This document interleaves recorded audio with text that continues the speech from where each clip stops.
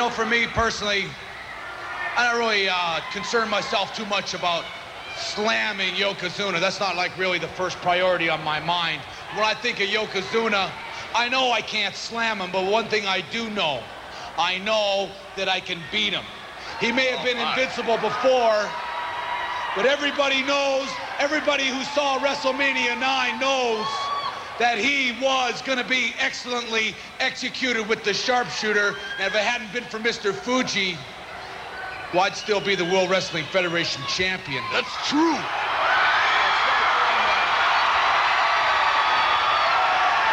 Let's talk for just a second about being crowned King of the Ring. Your victory celebration after three grueling matches cut short by the self-proclaimed king, Jerry Lawler.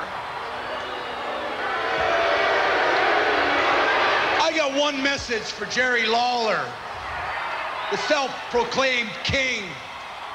And now he's the Burger King. But you know what? Oh, my Even lower than that, I think Jerry Lawler's the Dairy Queen. Because I could tell everybody that what he did to me after one of the most hardest, most glorious nights of my entire career, after fighting three long, hard battles with three of the best, to be the king of the ring and have that slime come in and ruin it for me and jump me from behind and beat me and pound me like a dog. Well, let me say one thing, Jerry Lawler. I can promise you, and I'll promise all my fans and all my friends and my family that I am going to destroy you. I am going to wipe you out, and I am going to obliterate every single bit of everything you can stand for, and you will be excellently executed by the best there is, the best there was, and the best there ever will be. And I am the king of the ring. I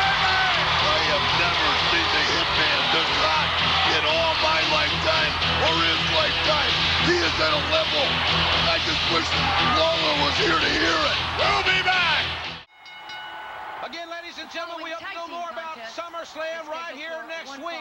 But Brain, I'm Curling looking forward to this next team, Men on a Mission. pounds. I've been waiting on their debut here on our broadcast for Dwayne quite some time. and his partner.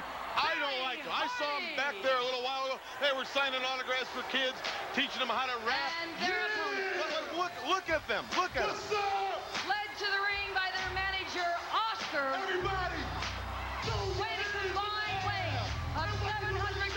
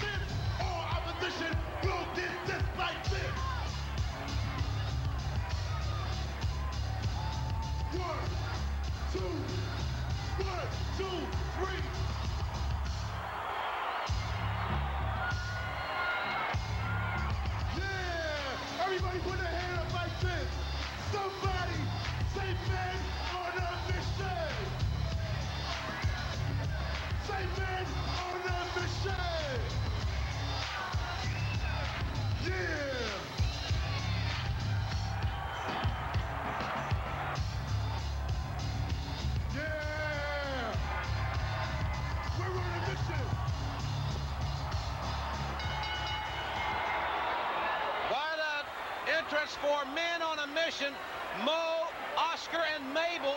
And their combined weight 722. And I think Mabel tips the scales at close to the 500 pound mark. 495. Look at this big man step over the top rope ring. Well, what do you think? I saw you patting your foot. I'll tell you what I think. I like their ring attire. It just goes to show you. If you sew 63 mattresses together, you can get a nice pair of pants for Mabel.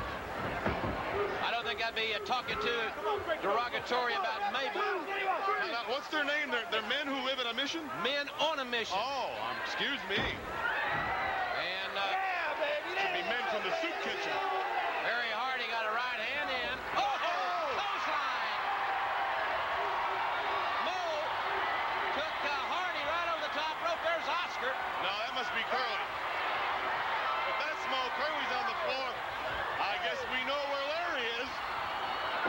Great kick right to the head by Mo. Another big right hand. Irish whip. Boom, elbow. And they come right at you. Look at Mo's hair. Looks like he was run over by a Uniroyal. That is a Those rather, are u- tire marks. rather unique hairstyle. Uh-oh. Now look at this big man. Now this guy's about 6'9", Oh. 10, but 500 pounds. He is huge. Where do they find him? Another whip in. Missed that clothesline. Missed another one. And, oh. Well, that, that's not going to work. I don't know what will work with him. He is, he's, yeah, he's on a mission. And they He love was the telling kids. you that. We're on a mission. I'm not on a mission. Whoa. Mabel scooped up Hardy and slammed him. And he slammed him hard. Hardy uh, gets a tag there with Dwayne Gill.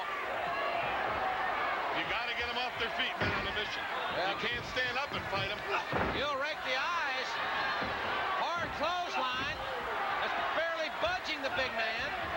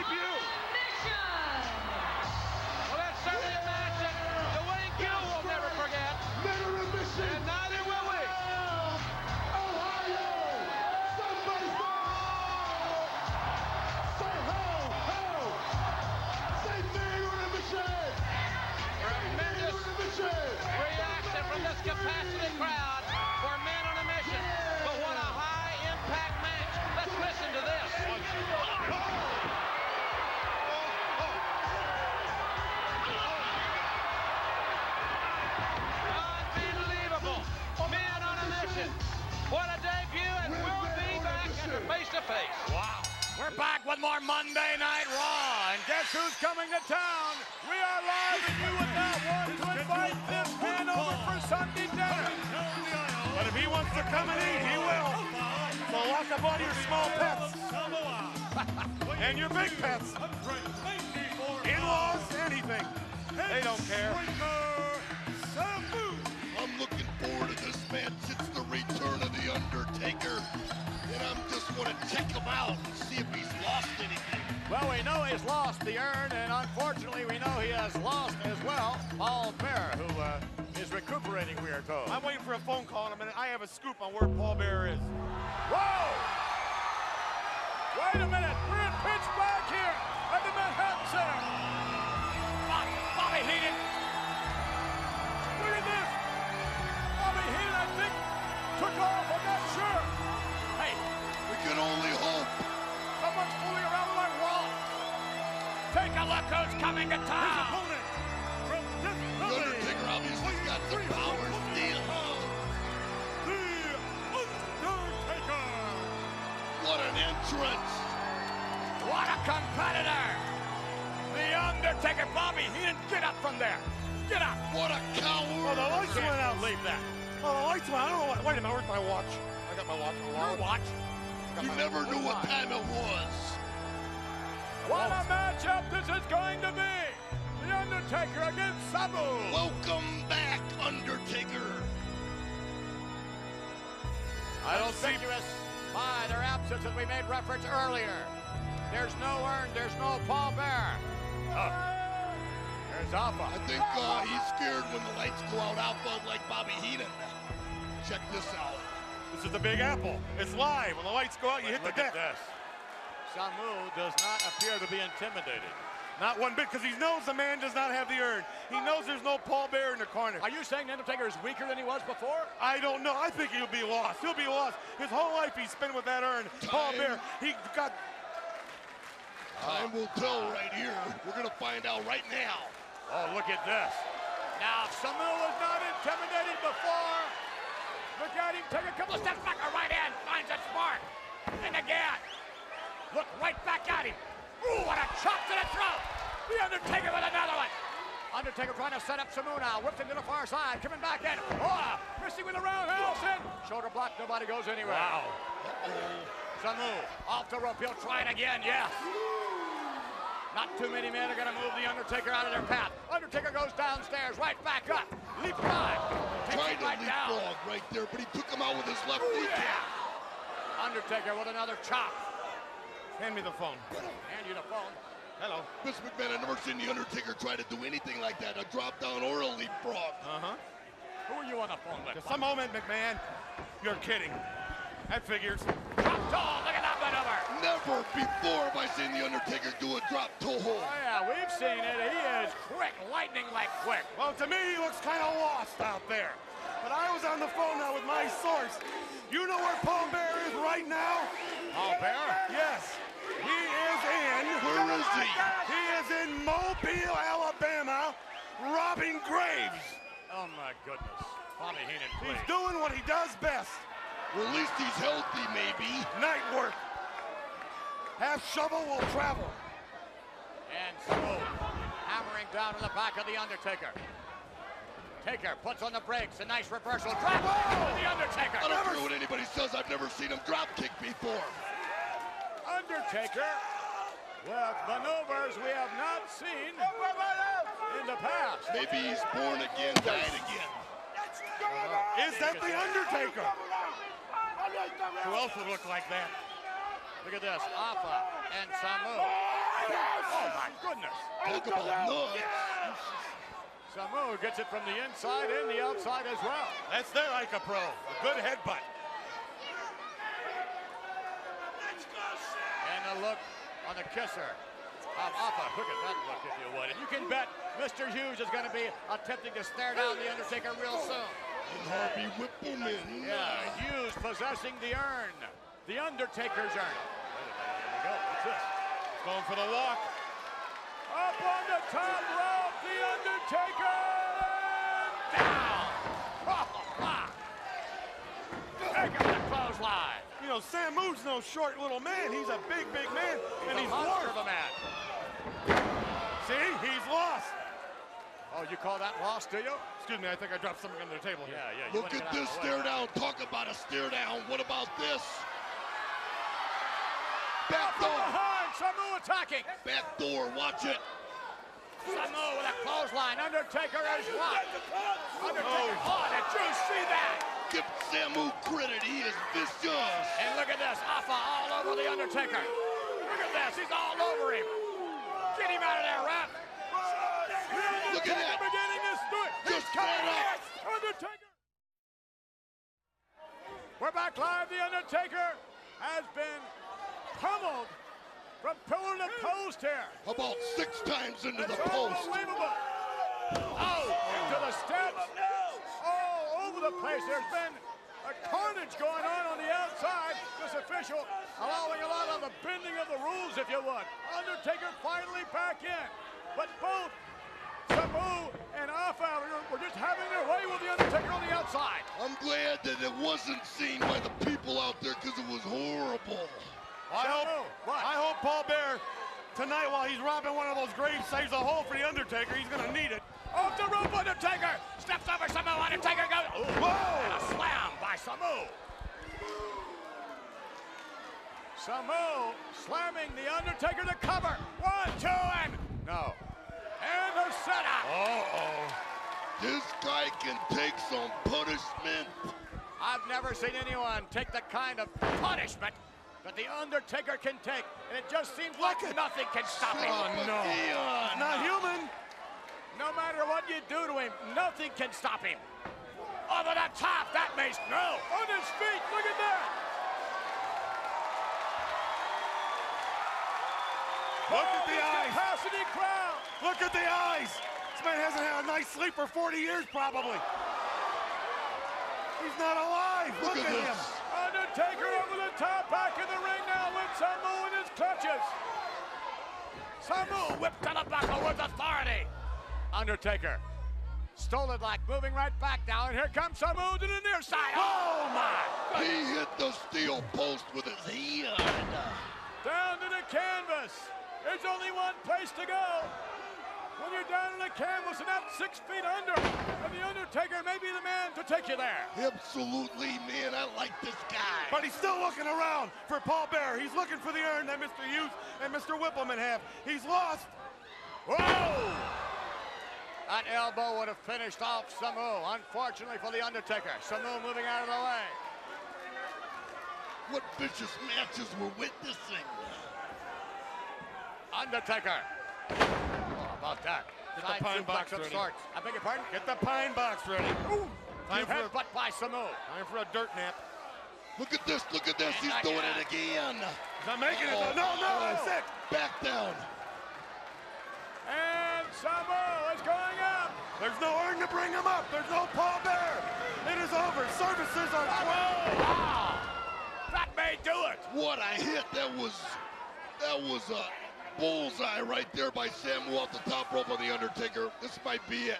Services are at a quarter to ten for the Undertaker. Look at this. Samu No. slapping the prone Undertaker.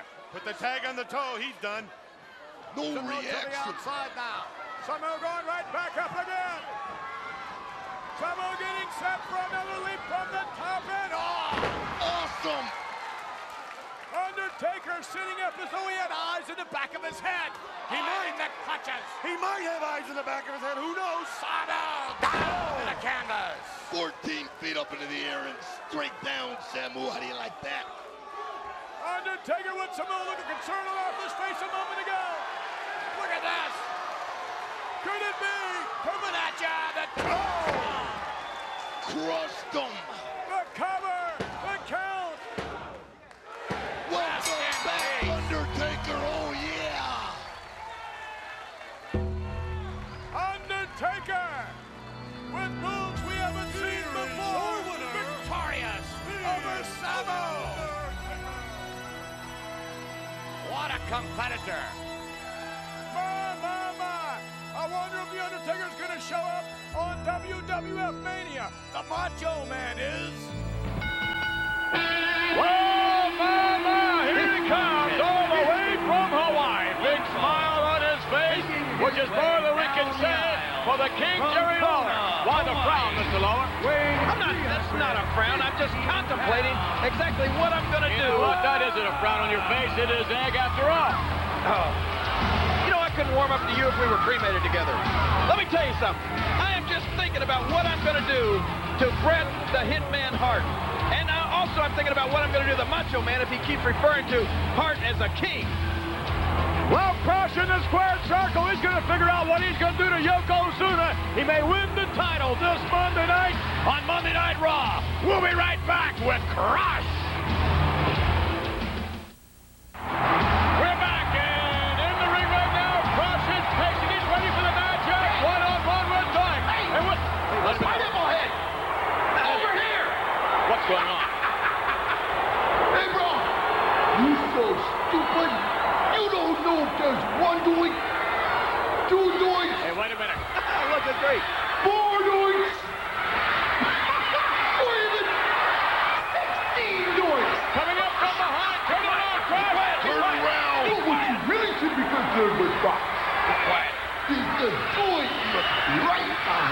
Watch it. Turn around, Crush. Crush can't believe what's going on. Too much. believe this myself.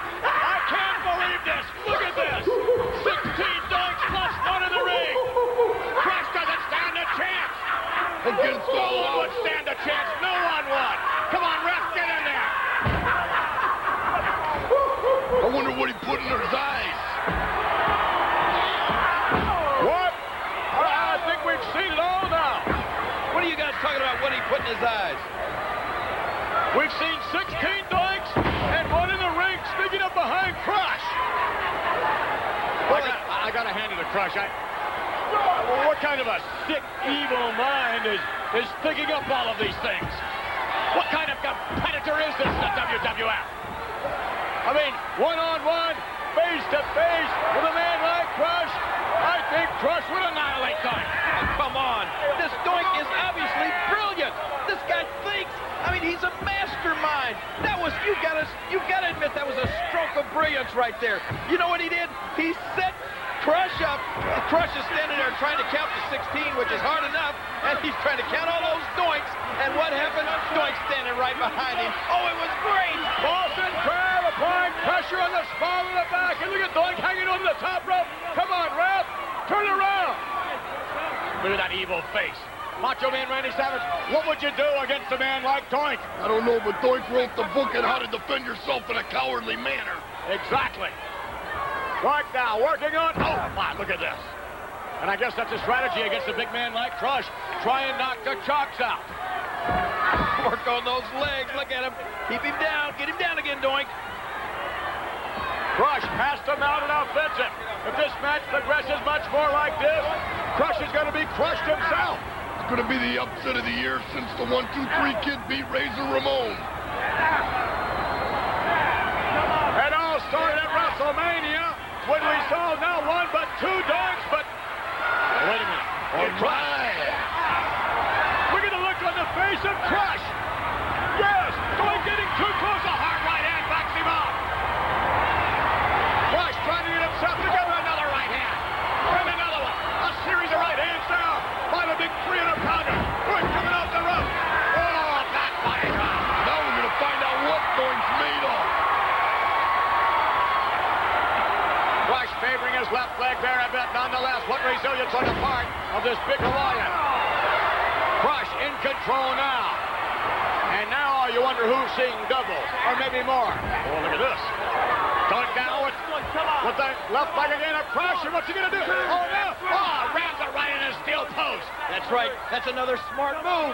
You see, sure, Crush may be bigger. He may be stronger than Doink, but Crush is a middle midget. Doink knows how to... Which Doink is this? Doink 1, Doink 2, Doink 17. Which Doink is it? What difference does it make? It's the Doink that's going to beat Crush. That's all that matters. Which Doink is going to attempt to beat Crush? That we don't know. How many Doinks are under the ring? How many Doinks are in the video wall? How many Doinks are in the dressing room? How many Doinks do you see? Huh? Oh, what a maneuver! What a clever maneuver on the part of Crush! Crush now. Back with the moment. Oh, look at this. Doink. Doink will do anything to win. Doink the aggressor. Crush for the ride. To the buckle. And oh, look at that. Right into the boot. This match is getting uglier and uglier every second that goes by. Both men pulling out all stops here. Two. Crush it. What agility on the part of this big 300-pound crush. An extraordinary athlete, taking nothing away from the technical skills and the devious nature of Doink the Clown. Absolutely credit where credit is due. Look at that. And now it's Crush with the aggressive tactics. And why not, Jerry Lawler? Well, why, yeah, why not? Because he's a oh, typical oh, cheater, putting all his weight right in the throat of Doink the Clown. Right on the back of the head. Maybe that'll knock some sense into him. And Doink rolling to the outside. Uh-oh. Oh, no. Is he going to go under the ring again? That'd be a good opportunity to take a little rest under the Crush ring. to the outside. Crush coming after Doink. Uh-oh. Cut him, cutting him off right there. Cutting him off at the pass. Smart move. Go ahead and admit it. Maybe. And a bit of aggressive tactics here from behind. Come on, ref, get in there. Let's have a wrestling match here. Let's let him wrestle. Come on.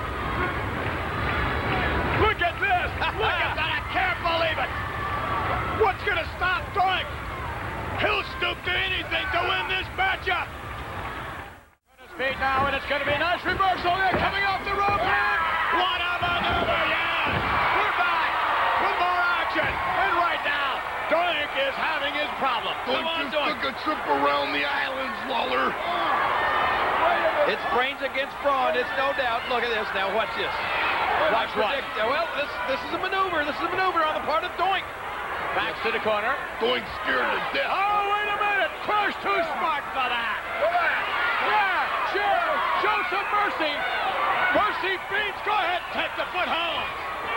A spin around now from behind. Up goes Doink. Only one way down. Off the right. Crush with the momentum. If you're Doink, what are you thinking now, Randy Savage? What do you have to do? I have no idea what Doink is thinking, but I know what Crush is thinking to destroy Doink.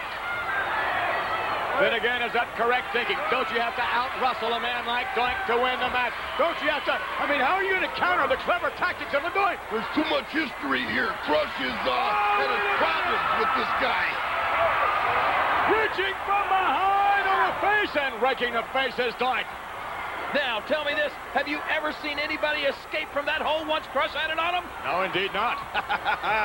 that shows you just how smart Doink is. Crush coming off the rope.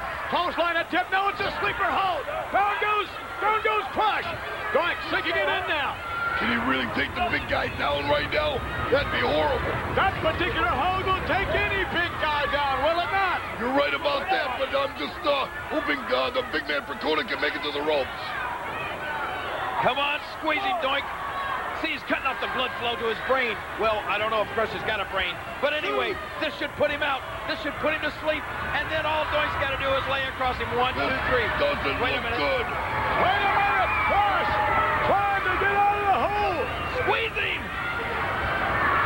Crush back to his feet and back Doink to the corner. A sixth sense right there by Crush. And look at this. Doink perched on the top. Down now with a clothesline. And again, another clever maneuver on...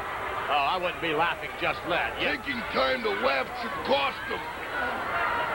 However, Crush is not recuperating. So that sleeper hold took a great deal out of the big 300-pounder. He must be now somewhere around the 185, 200-pound mark as far as effectiveness is concerned. So Doink's strategy is paying off against the big man. Of course it is. Didn't I tell you that? Body slam. Let's see what Doink does. The high-risk maneuver. Will he go to the yes, to the outside? Doink down. Climbing up to the second rope. It's the coup de Doink grace. up to the top rope. This Finish is, him off.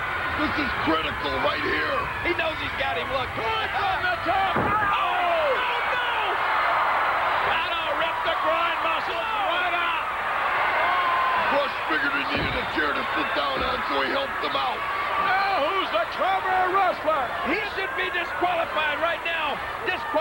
Crush.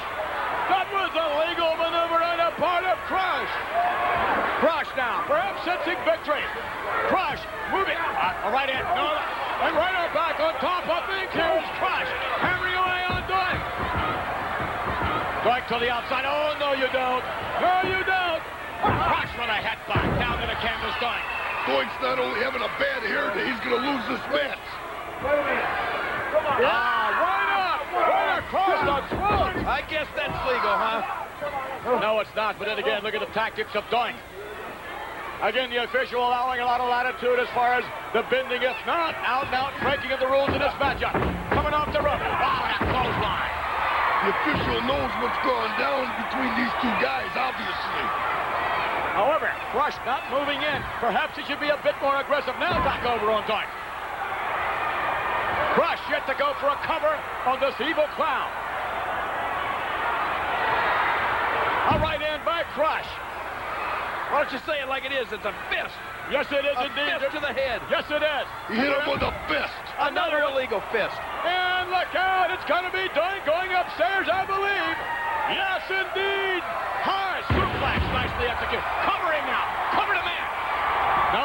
Look how smart Doink is. Stay He off missed your back. chance. And not just the first chance, Crush has missed. Doink hammering away on Crush. Doink now off the rope with momentum. And Doink. Oh no! They both go over the top rope. Both two men to the outside. The slugfest continuing on the outside. The referee picks up the count. But now Doink's going to come back in. He's going to come back in the hard way. No, he's not. No, he's not. Crush, let him go. Doink pulling Crush back to the to the midsection there. And another one. I think you both got to admit, oh, oh yes, you've got to be amazed at the tenacity of Doink the Clown. You never thought that he would withstand this much punishment. body drop. You're right, Back Lola. in the ring. Yes, Crush beats the count. Crush beats the count. All right. Crush is the winner. Who's counting? What happened? Here is your winner, by way of countdown, Crush! Crush and Doink still going at it after the match is officially over. Uh, Doink through the ropes to the outside. It'll remain a victory in the record, but on the part of Crush. But look at Doink. He wants to still go. That's right. He's not through with Crush. He wants some more. He took everything that Crush could dish out, and he wants more. I'm surprised uh, Crush didn't pin Doink, but at least he got the victory. A very clever, clever individual, an evil clown, and Doink, no question of that. A very, very evil. Hey, look at this. He's back for more. He's back for more. That's not the same Doink. That can't be the same Doink. Look at this. Oh, my goodness. I can't believe that. Look at this. All right, Lawler, explain this. What? Explain what? Two Doinks in the ring. Pummeling Crush. Hammering away. It's a double team effort on Crush. He was forewarned. Doink told him there were 16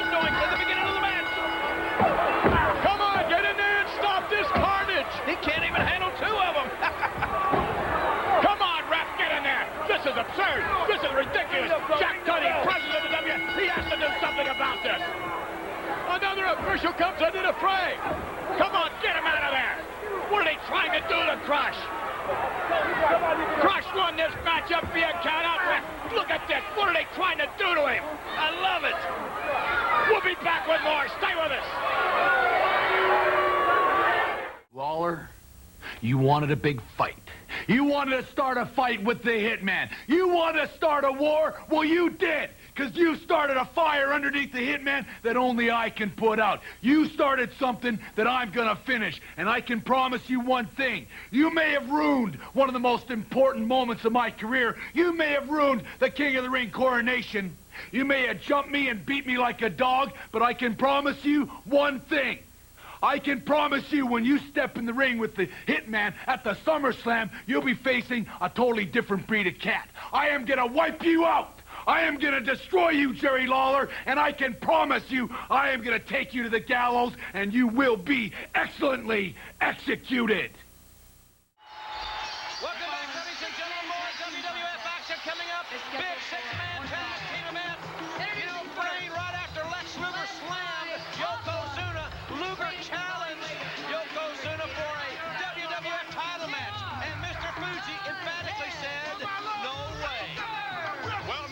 Fuji's calling the shots, and Yokozuna's packing the gold. I think Lex Luger's going to have to get at the end of the line. Well, there's a lot of people in line, including Crush, who will take on Yokozuna for the WWF title this Monday night on Raw. I'll tell you something about Luger. You know, when he came into the World Wrestling Federation, he asked me if I would do the introduction for him. I said gladly. And I sang the praises. The man's a great athlete. He has a great body. But he's an ingrate. He never paid me for that, you know. He thinks I work for nothing. Why don't you send him a bill? Here comes Bam Bam Bigelow. This one should be a great six-man tag team event, and we'll have it for you right after this. Bam Bam! And we're back, ladies and gentlemen. Bam Bam Bigelow,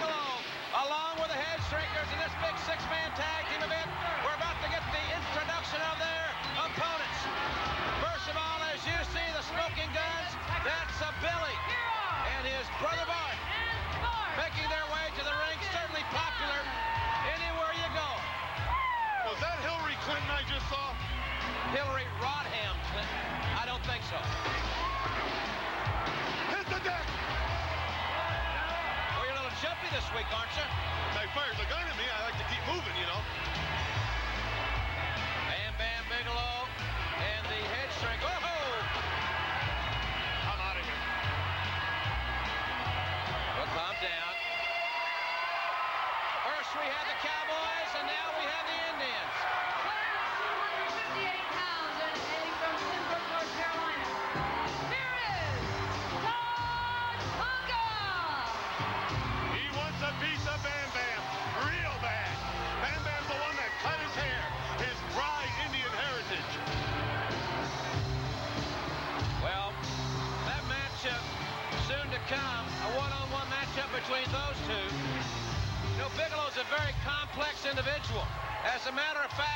current edition of the WWF magazine, it'll be on sale nationwide this Tuesday, but a very interesting article about Bam Bam Bigelow, an interview with Bigelow, where he talks about those tattoos and why he got them and when he got them. Uh, really a unique uh, insight to this big 400-pounder. You know, if you want, Ross, I can shave your head while we're on air, and I can draw on you with a magic marker. I, I don't think so, Bobby. Or I could just get a nail and pound in your head. Some, I, I can do whatever you want. Why would you want to do that? Why would you want to do that? To you? To anybody. Ask me? Well, Pick me a winner here. referee uh, Hebner is perhaps got the biggest challenge of anyone because he has to officiate this uh, melee.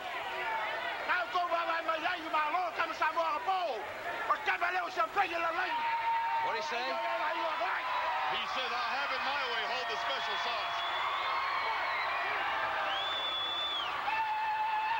Uh, Tatanka looks as if it will be the Native American starting it off, or will it be uh, Billy Gunn? Pick me a winner, It will I be said. Billy Gunn.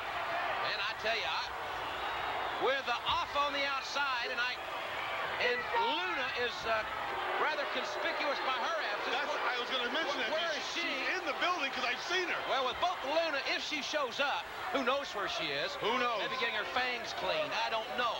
But in any event, if she's here and office here, I'm going to go with the Shriekers and uh, Bigelow. I got it too because of the size. And because of off in the corner. That's uh, Samu kicking it off for his team. Billy Gunn representing his trio. They'll never get along, smoking guns and oh, Tatanka. What do you say? Cowboys and Indians are just like oil and water. They don't mix. Lone Ranger got along well with Tonto. Sure, the only guy Tonto could hang with. Did he ever take his mask off and show Tonto who he was? No, he didn't care. He didn't let that Indian know anything. One thing's for sure, Billy Gunn cannot allow this match to be wrestled in the head shrinkers Bigelow half of the ring. Straight kick right to the midsection and a chap chop by Samu. Drops down boy, some contact. Good athletic moves there by Billy Gunn. Drop toe hold, arm drag takedown, and a drop kick. Good sequence of offensive movement here by Billy Gunn. Right hand found its mark as well. I'll tell you, this smoking gun team has impressed me. They do quick tags. They know what to do in the ring. Bart Gunn gets the tag from Brother Billy and a thumb to the eye and another knife edge chop. Make it a pair by Samu, who slams the young man from Texas. Texas is close to Oklahoma, isn't it? Yeah, just south. Nice drop toe by Bart. Takes down Big Pot, too. Well, that explains it, because the breeze was blowing one day when I was in Dallas. I couldn't figure out what this aroma was. It's Oklahoma. Oh, I missed the drop toe there. Resent that remark. Another drop toe. Good quick movement Then into move the to arm part. Move to Dallas. Don't any better either. I lived in Dallas. It's not bad. Ooh, is right. What did he, what did he say that time, Brain? What's, what's he want now? Chocolate shake?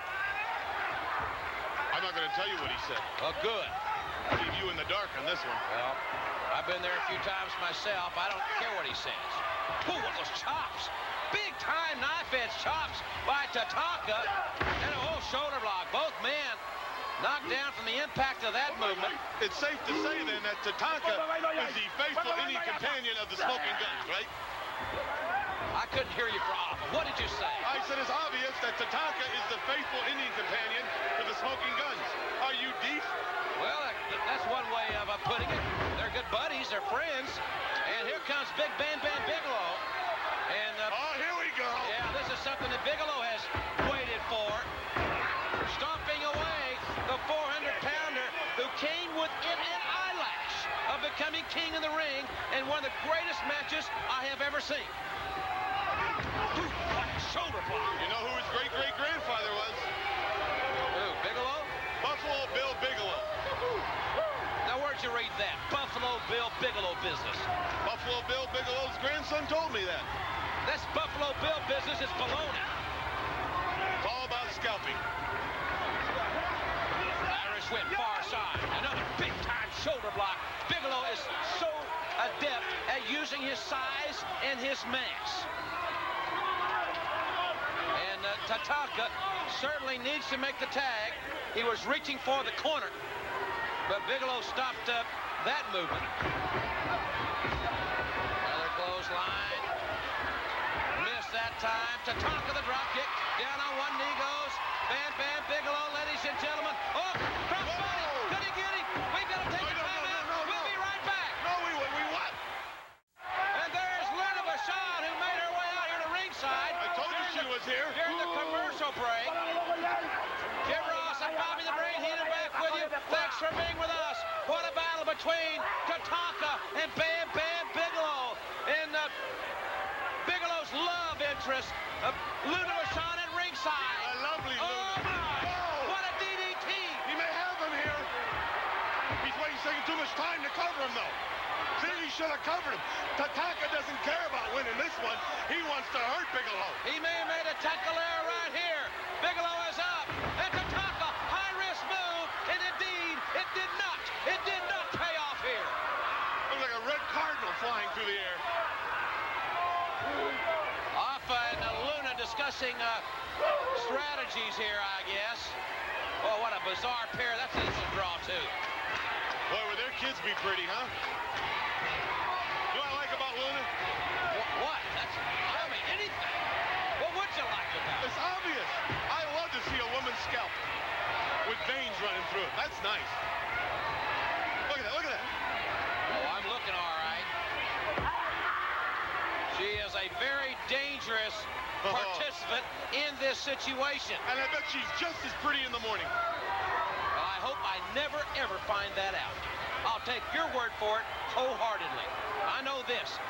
When that man with the tattooed skull, Bam Bam Bigelow meets Tatanka, we know the match has been signed. We know that she will be at ringside. And that certainly puts Tatanka in a very, very dangerous situation. I'll tell you, if I was Bam Bam Bigelow, I'd be a little worried too. You don't know when your squeeze will turn on you.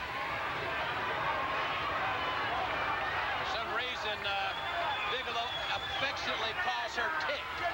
Tick. You know what Tick is, don't you? It's a parasite. It's a... As in lunatic. Oh, that fits. That's probably it. Oh, it, it works. Works for me. Both men back up to the vertical base, and it's Tatanka and Bigelow. He didn't get him with that roundhouse kick, but the drop kick from Tatanka did connect. Can the Native American make the tag? Yes, he does. He tags in. Fatu. Bart Gunn. Fatu in as well. Oh, the pace is quickening here. Fatu a headbutt. And a vicious headbutt it was. Another clubbing blow to the back of the head. This is a great six-man tag match. It is a phenomenal match. Side backbreaker. What a high impact move by that head shrinker, Fatu. And Bam Bam Bigelow works his way back up on the apron. And there's Luna Vachon. What a collection of criminals here in this match.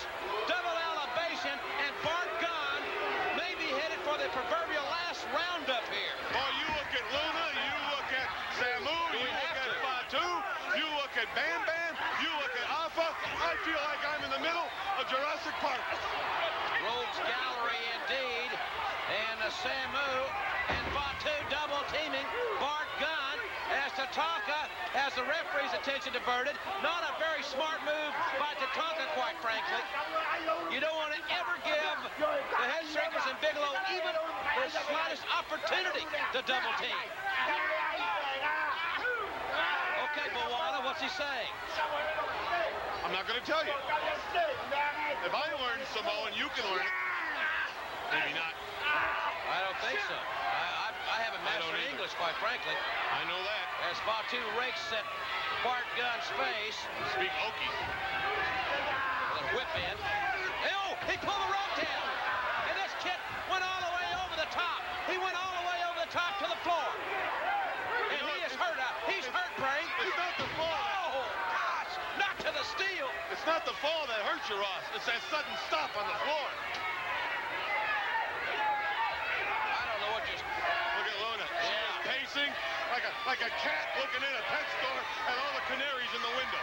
Oh, another right to the head, to the steel steps.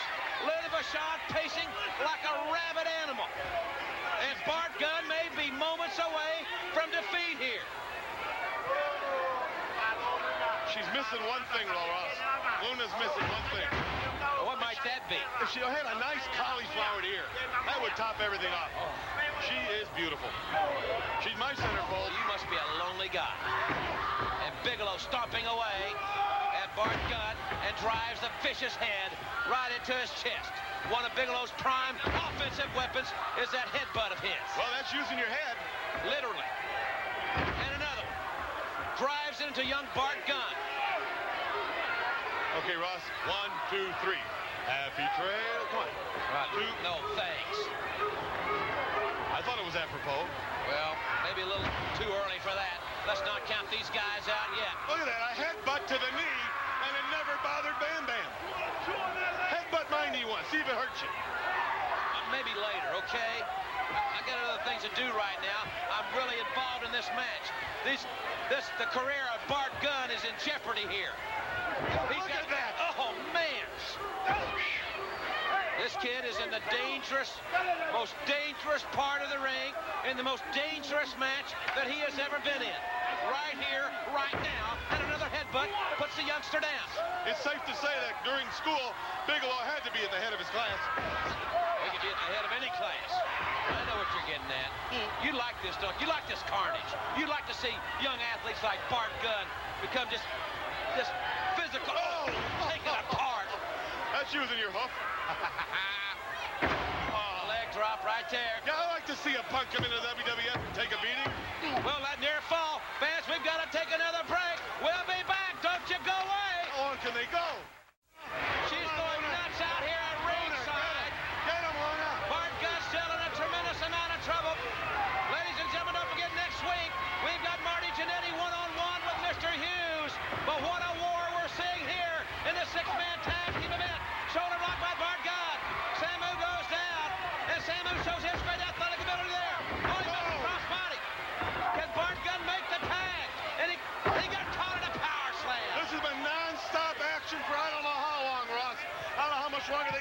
Pace. Samu choking. And the official trying to get him to break, but the damage is being done. Bart Gunn perhaps should have made the tag when he had the slight opportunity just moments ago. Or he should have he should have stayed with his old job. What was that? He used to follow milk horses around with big brooms. Bigelow gets the tag. Oh, you, you disgust me sometimes. Bigelow gets the tag. Beast from the east with a headbutt right to the head. Fans, I know we don't have a great deal of time left. We're going to keep it here as long as we oh, can. I'm not leaving until this is over. Bigelow rocked there. But he's not down. Another drop kick. Down goes Bigelow. Fans, if we do not have a, a decision rendered before we go off the air, we'll bring you the exciting conclusion of this match in its entirety right here next week. Bart Gunn needs to make the tag. He needs to make the tag. And stretch that arm out. And he is in bad shape. Bigelow able to get up,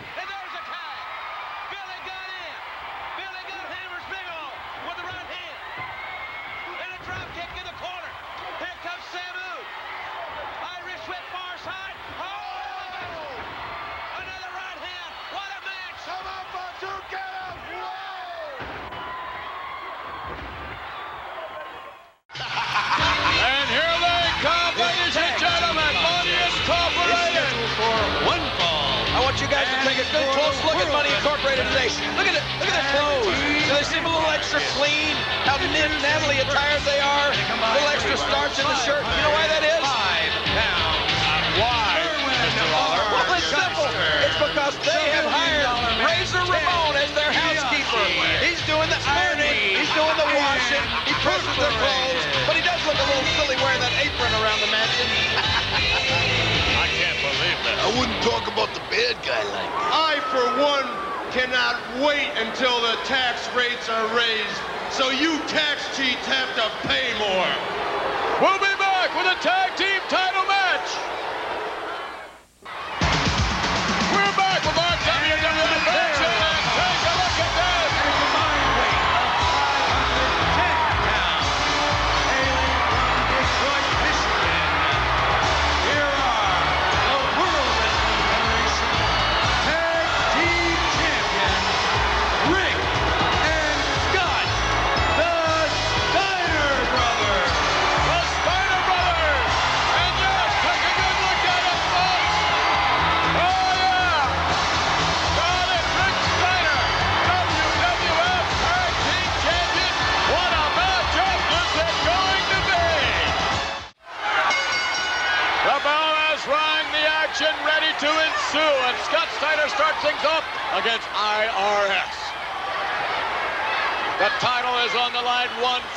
take it, gentlemen. I would suggest both teams are going to be feeling each other about, not too anxious, maybe, to lock up. Look into the eyes of IRS and Ted DiBiase. Jealousy because they don't have the belts anymore. Get used to it. Oh, but I don't know. I disagree with that. I mean, this title has been... It's been a seesaw situation for some time. Maybe we're going to decide this week just who is the better tag team. Pressure's on IRS and uh, Ted DiBiase, buddy. Nice maneuver. Oh, that's another mental mistake by you there, Blank Brain. I'll tell you, the pressure is on the champions. They're the one that's got everything to lose. Money Incorporated know now for a fact that they can't beat the Steiners, and I think they're going to do it right here this week. If I knew what you were talking about, I might consider what you said as being the truth. Well, then again, he's uh, a little upset as of late. The King is justifiably so. But look at this. And again, the second time we see IRS go to the rope. Not the most sportsmanlike thing to do.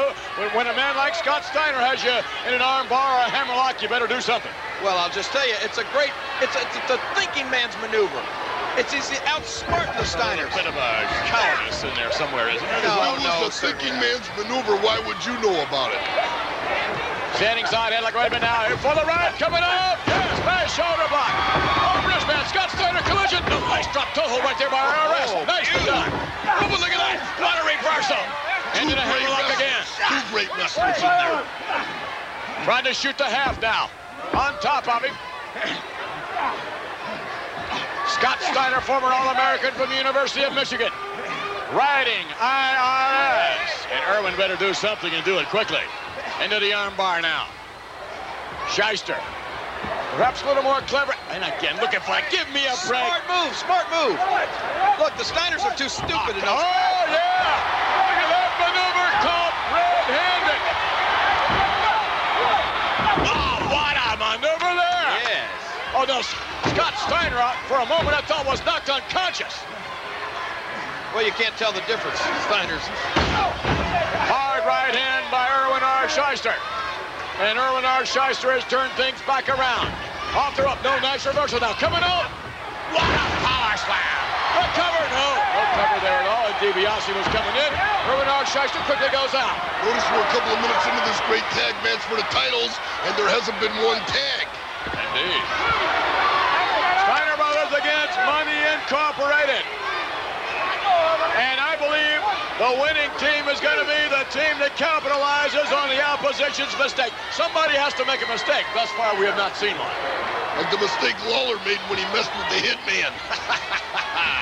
Oh, you, you know what? You make me wish your parents had never met. Little me tell you.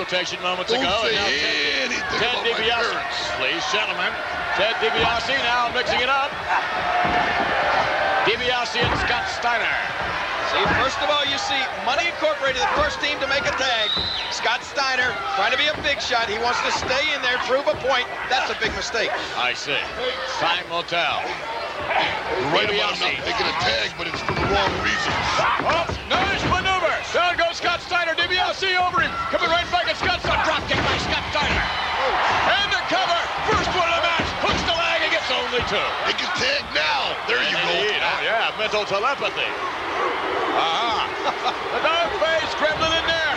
Ah, just wrenched that neck right on over. Oh, look at that. Pull him tight. That's a three count, wasn't it? It was only two, and a quick two, I might add. All the money in the world's not going to help the million dollar man right now. They got to beat him and beat him flat. They can do it. It's been done before. Yes, it has. Oh, come on. Back to the standing position now. DiBiase trying to figure a counter. And over the hip again, grinding it out. And when you're as strong as Rick Steiner, a simple headlock, there's so much pressure on the neck. And uh, we know for a fact Ted DiBiase has a bad neck.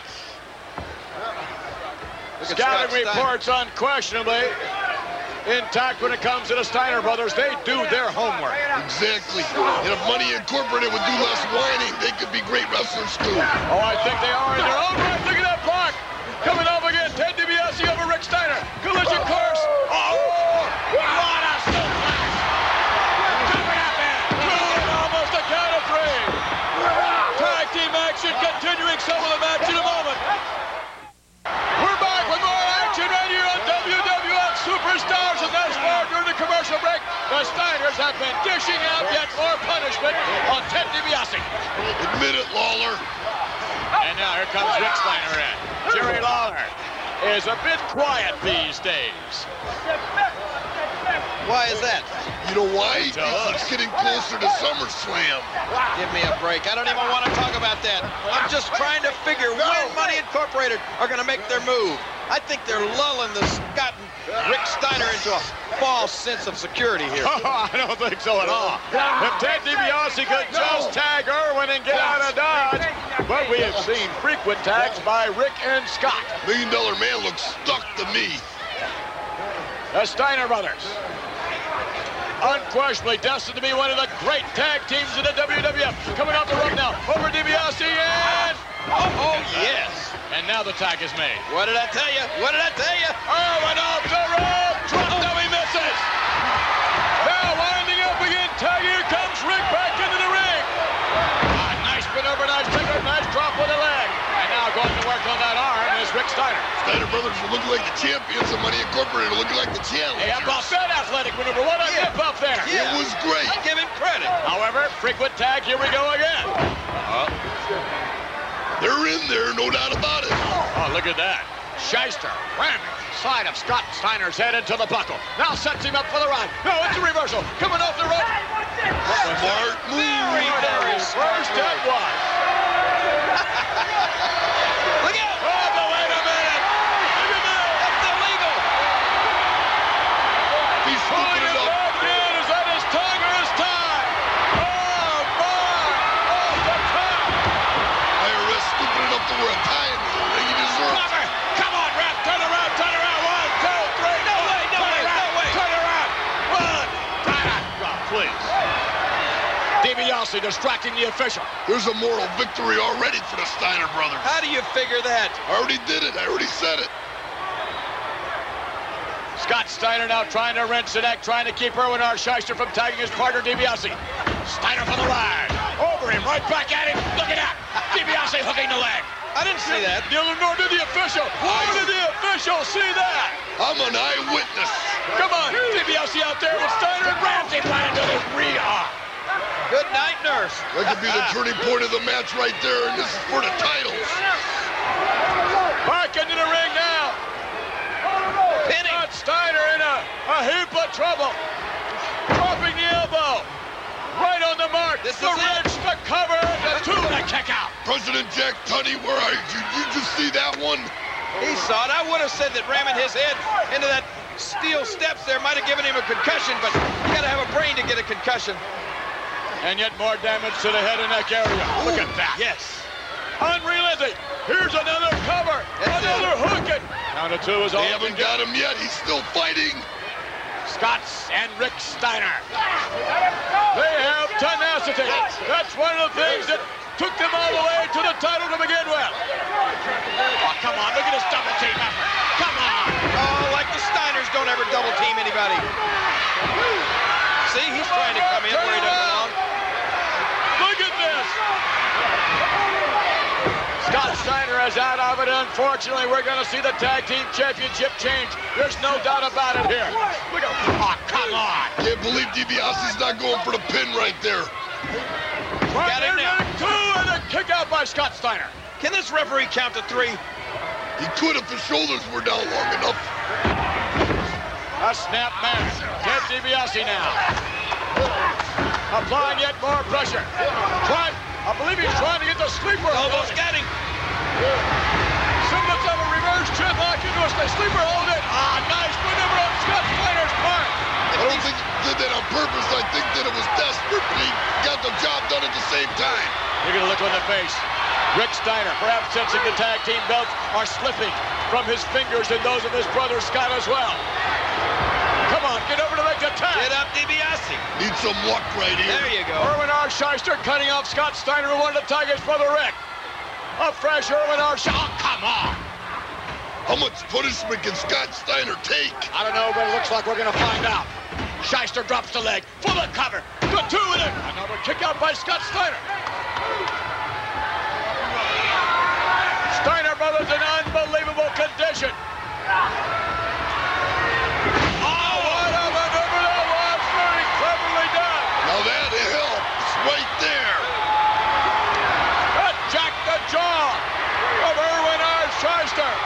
an equalizer. In there, DiBiase. God, Ted DiBiase. God, Schyster was holding. Look what he was doing. What? What? You saw that. Don't waste your time. Perhaps Money Incorporated sensing victory. Scott Steiner has taken extraordinary punishment. It looks like there's more to come. Suplex by Ted DiBiase. Unfortunately, must break away. If the title Here it is.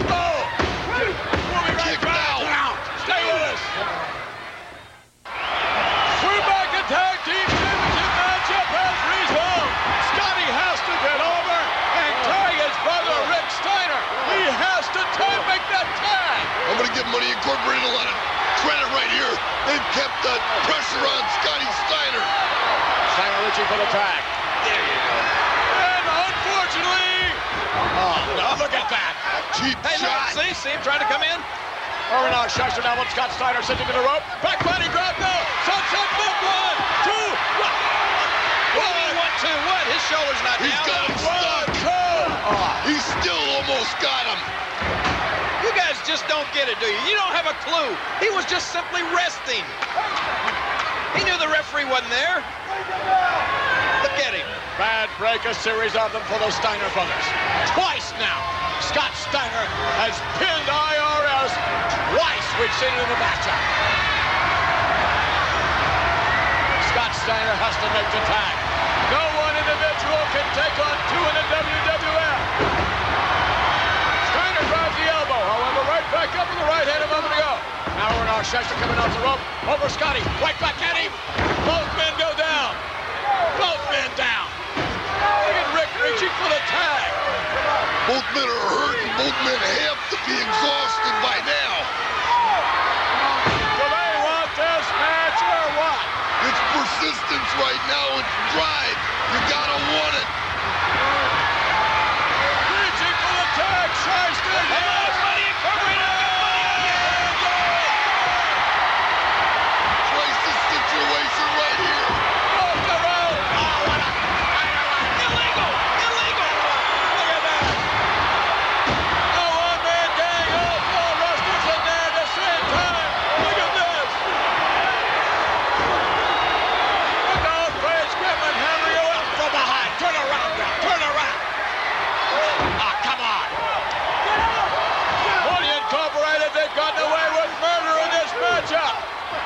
No! Look at that. It's two on one. Two on one. Hook the leg. No, two on one. Yes. Get out. Yes, he got him. He got him. No, he didn't. No, he didn't. No, he got no, a he two didn't. count. Well, the Steiners bending the rules a little bit in their own right, justifiably so. Ted DiBiase now reversing things. Rick Steiner coming up.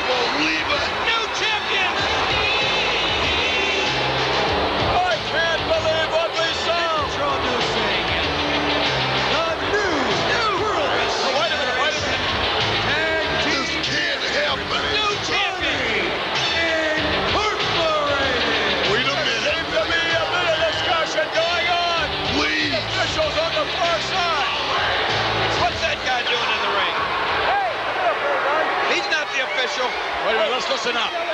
Listen.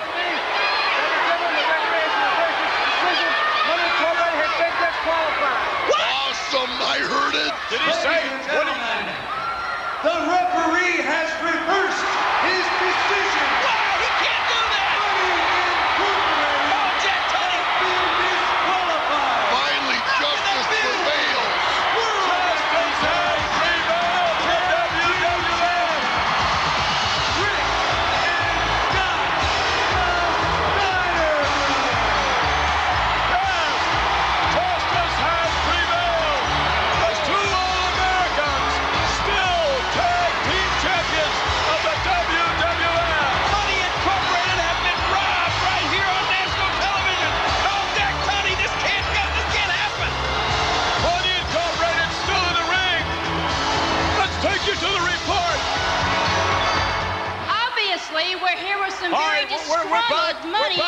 Incorporated members. Buddy Mr. Blackstone. DiBiase, How observant of you. you had your chance. Let me tell you something. We were robbed of the World Wrestling Federation tag team titles to begin with. The Steiners whined and they cried. They cried and they whined until we gave them their shot. And they stole them the first time out. Now, right here in front of you and all these people and all you people at home, we were robbed again. The referee goes, one, two, three, it's over. I can see it, But you used a briefcase. What? I'll observe it again? Yes, we used a briefcase. And lucky for everybody here as well as those watching at home, another official was watching in the back and saw the That's incident. really convenient how the other official is back there watching our match. I think this is very unfair. And Steiners, you're going to learn one thing. Nobody, I mean nobody steals from Money Incorporated. You're going to pay. Where else in sports does an official who's not involved in the match come out and reverse a decision? It doesn't happen. It won't happen to Hulk Hogan. It won't happen to Bret Hart. It won't happen to anybody else because, frankly, Jack Tunney, you don't like us. You don't like how much money we have and how much money our power, our power of our money yields. Steiners, if you're the champions that you think you are, if you're the wrestlers that you think you are, you accept our challenge in front of you, Bonnie, in front of all these people and all you people at home. Put them up again right here next week. Put up or shut up. We'll be here. They better.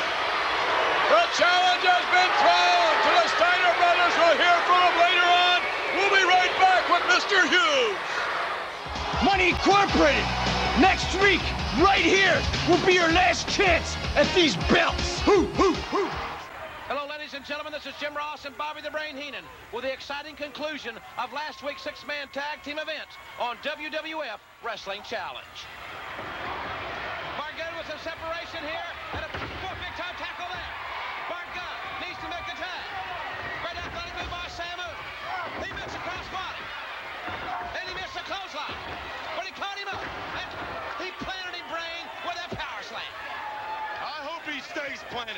She can plant you.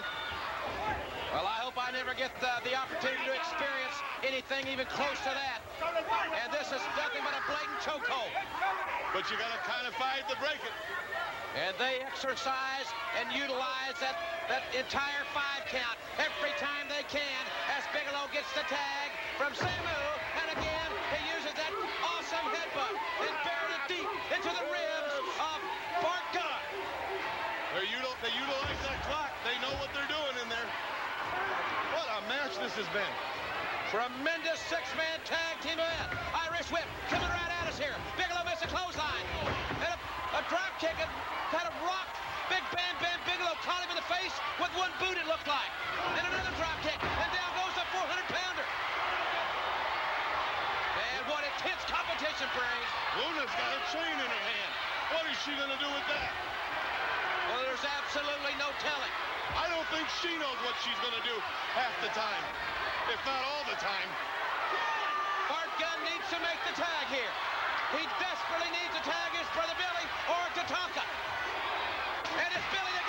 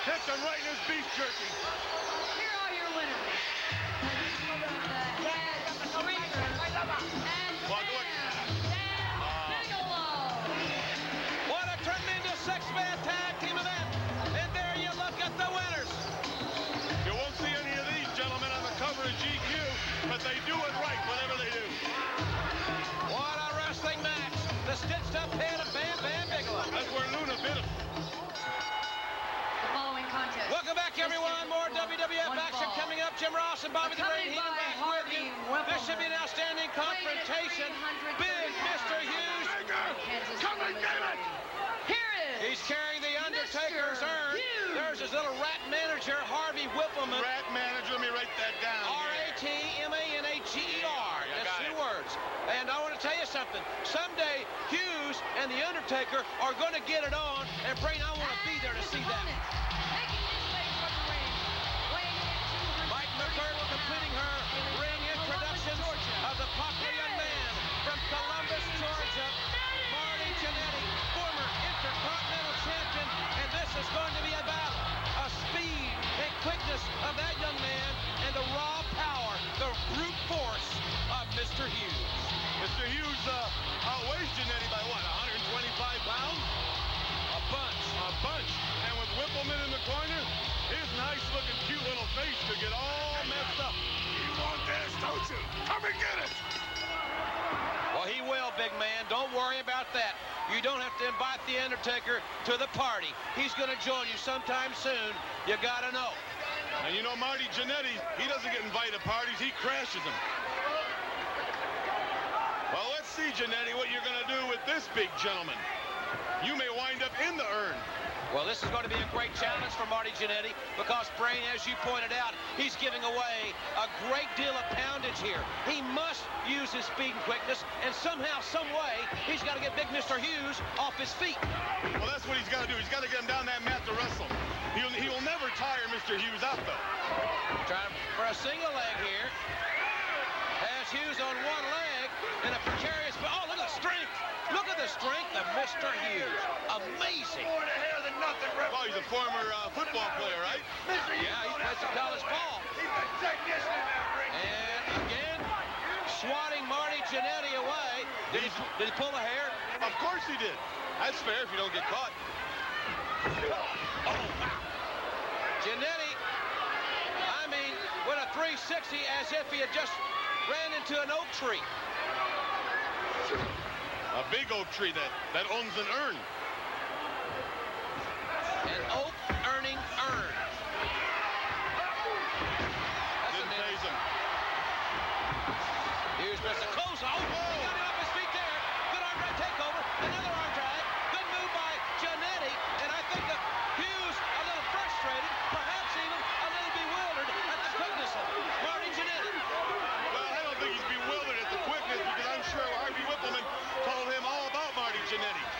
And being in the World Wrestling Federation, believe me, Hughes knows about Marty Jannetty. It's just a matter of time till he squashes him like a bug.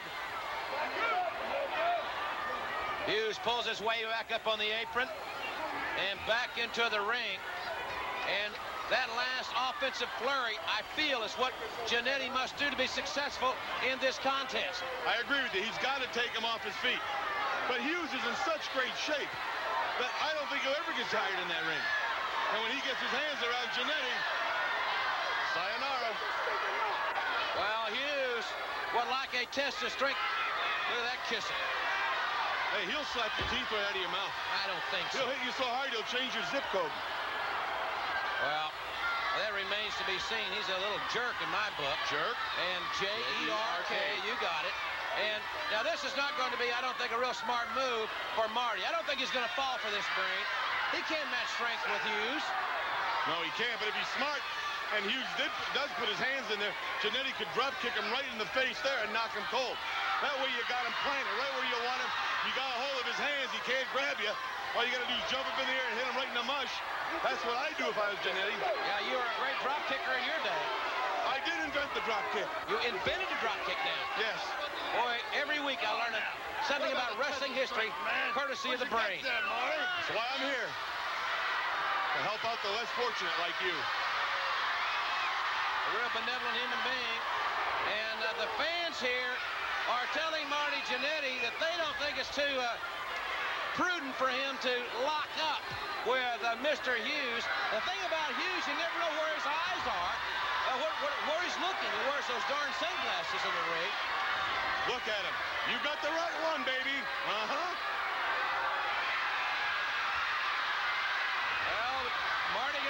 To glove. No, he's not. Oh, Hughes caught in the right hand. But Jenny, again, with a, a quick offensive move into the wrist lock, but seemingly doesn't have any effect on Hughes. Hughes so strong, but Marty holds on tenaciously. Now, if I was Marty Jannetty, well, I'd call Dr. Kevorkian about Marty Jannetty, but what I would do, I'd take that tie and use it. I'd take the suspenders and use it. I'd use everything to my advantage. Well, he used his speed moments ago to his advantage as Mr. Hughes attempted that, that elbow drop, and Marty was quick enough to avoid the contact. Well, Jannetty knows what he has to do in order to beat this Whoa. man. Right between the legs.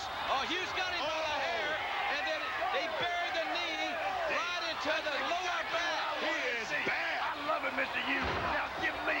Big axe handle right to the spine. Fans, we're going to take a quick timeout. Don't you go away. This is your Undertaker! Welcome back, everyone. Jim Ross and Bobby the Brain Heenan back with you. And Brain, I'm not so sure how much more this courageous young man, Marty Jannetty, can take. Not much. Side headlock. Oh, oh! oh Jannetty put on the brakes, but Hughes didn't. And Hughes shook the ring when he hit the steel. I think he's made Mr. Hughes mad, and you don't want to make Mr. Hughes mad. At him. Whippleman distracting the referee. And Jannetty. Head scissors on the outside. Oh! It ribs first. Ribs first. Right into the steel. Jannetty tried the head scissors. I think his face hit, hit the steel as well. Did he lose a tooth there? They could have. I. Oh my. Oh my. He's hurt, Ross. Better bring your pickup truck around, carry him out of here. Oh, he stomps him in those ribs again. If he doesn't mind going to the hospital and with a back load of hay. There's nothing wrong with my vehicle. Front face lock. Oh, this is a big, aggressive athlete. Standing vertical suplex. Perfectly done. What a battle when Hughes and The Undertaker get it on. How it's much- Go, it's going to be a real fight. Oh, is it ever? I wonder how much more Jannetty can take. Well, I think it's over. It's right here. It's it. Too dumb to quit. It's done. He, he kicked out. Hughes, perhaps a little lax on his cover, but never discount the courage of Marty Jannetty. I don't think Marty Jannetty's got enough in him now to come back. He may throw some punches, but they're not stinging. There's nothing in him. Hughes just raked the eyes, trying to blind the young man. Undertaker, get up from your box of dirt and watch this. You're going to learn something. Learn what not to do. Don't mess with Mr. Hughes. Oh, wow. Oh. Oh, what a trip to the corner. Talk about an achy breaky back. That was a very quick trip to the corner, thanks to Mr. Hughes' power. Careful, Jannetty. Whippleman will oh, knock you out. I don't think he's got to worry about that, but he better focus on Hughes and forget about the little rat on the outside. Uh, rat. R-A-T. R-O-S-S. No. Another whip in. Hughes. He, he missed that time. Hughes found nothing but turnbuckles, and he is hurting. And he's mad. Hughes has been the aggressor this whole match. He knows he's got Jannetty right where he wants him. Look at Marty Jannetty fire back with the right hand. He's fighting with all he's got. But Hughes is so powerful and so huge. That's it. I'm going to change his name. He's Mr. Huge from now on. Well, he just ran into the foot of Marty Jannetty. Jannetty caught him and took him to the canvas face first. And, but Hughes just shakes it off. I don't think Jannetty would make this kind of a comeback. Boy, he is. What a courageous effort by Marty Jannetty, and it's not over. Up and over. Hey, he landed on, oh, he landed on his feet there. Oh, my goodness. Hughes in trouble. Marty Jannetty on top. Don't try it, Jannetty. A drop kick off the top. Hughes is down. Jannetty going up one more time. Harvey, do something. Don't let him jump. Jannetty on top. Here he comes. Another drop kick off the top. He may have it. One, two. Oh, kicked up barely. Barely kicks out. I mean, you got to give it to Jannetty. He's taking it right to Mr. Hughes. What a close near fall. A shoulder block.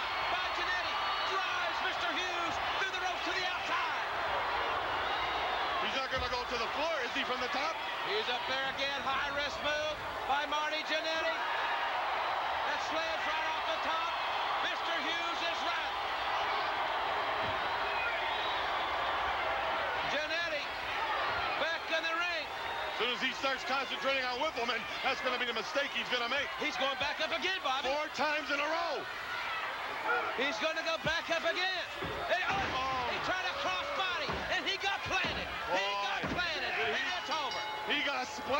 Splattered and planted. Mr. Hughes. Hughes caught Marty Jannetty in midair, and he turned it into a power slam. Polka dots are nice, sweetheart. Makes you look small. He's got the urn. Undertaker, take over. You want this? You come and get it. Exactly. Well, what a hard-fought victory. You got to hand it to Marty What a courageous effort for him, Brain. Look at this off the top, catches it on a power slam, and drives that 360, 70 pounds right into the mat. Take a look, Undertaker. Fans will have a SummerSlam report right after you hear this. The right one, baby. Uh-huh. Now, ladies and gentlemen, Jerry the King Lawler.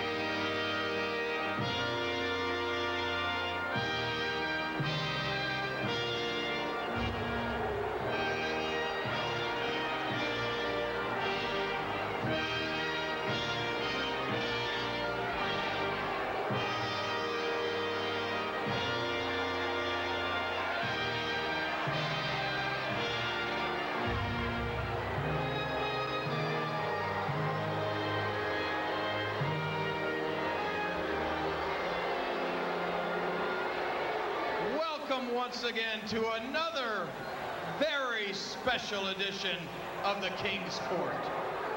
Now, you know, each week on the King's Court, I like to bring out a very special guest. An individual of high integrity. An individual with a lot of talent and great ability. Somebody that's well loved and well respected by all of the wrestling fans throughout the world. Someone who is on top of their career. but unfortunately, this week, my guest doesn't possess any of those qualities. Because you see, my guest this week on the King's Court is none other than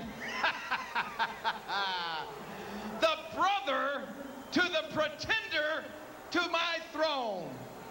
That's right, Owen Hart.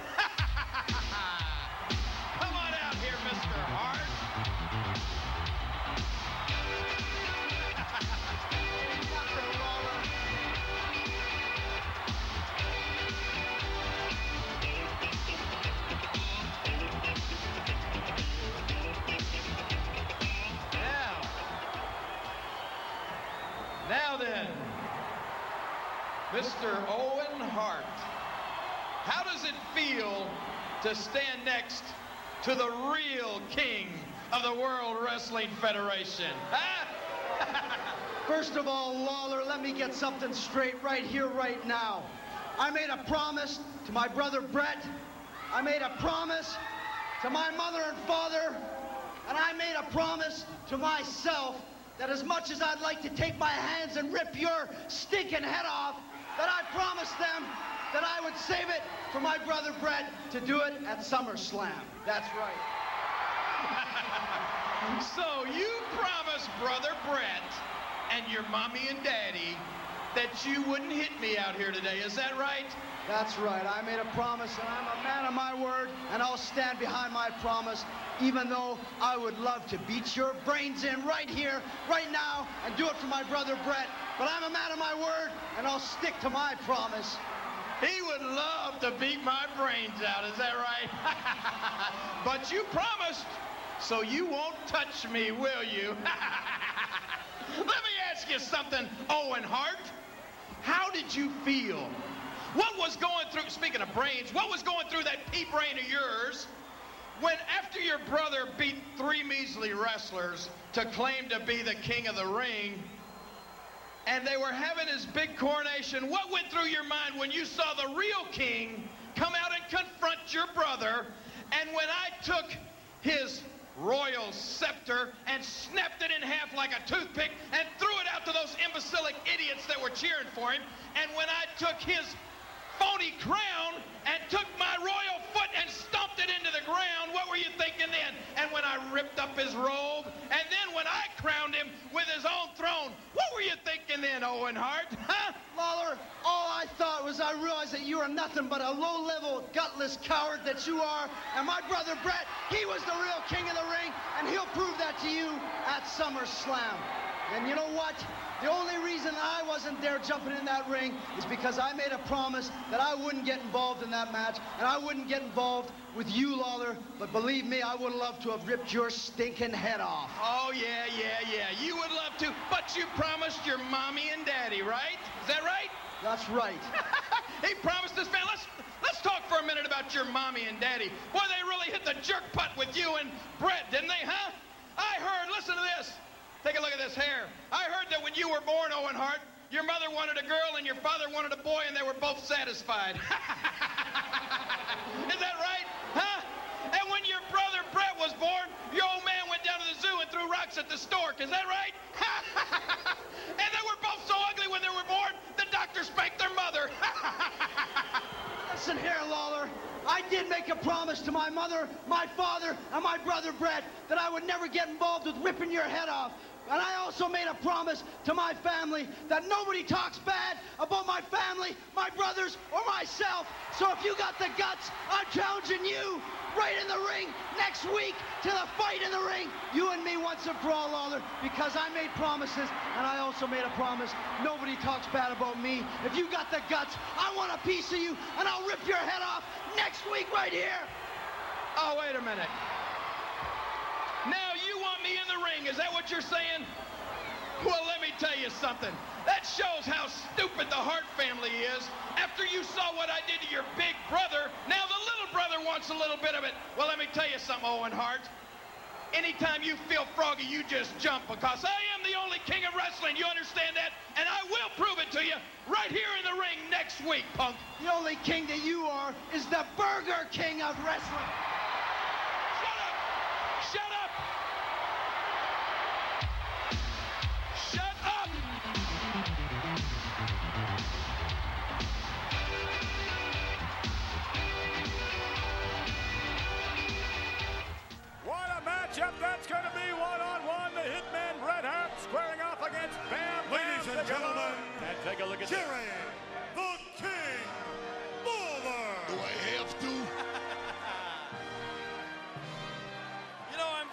Excited about the fact. Shut up with that Burger King stuff.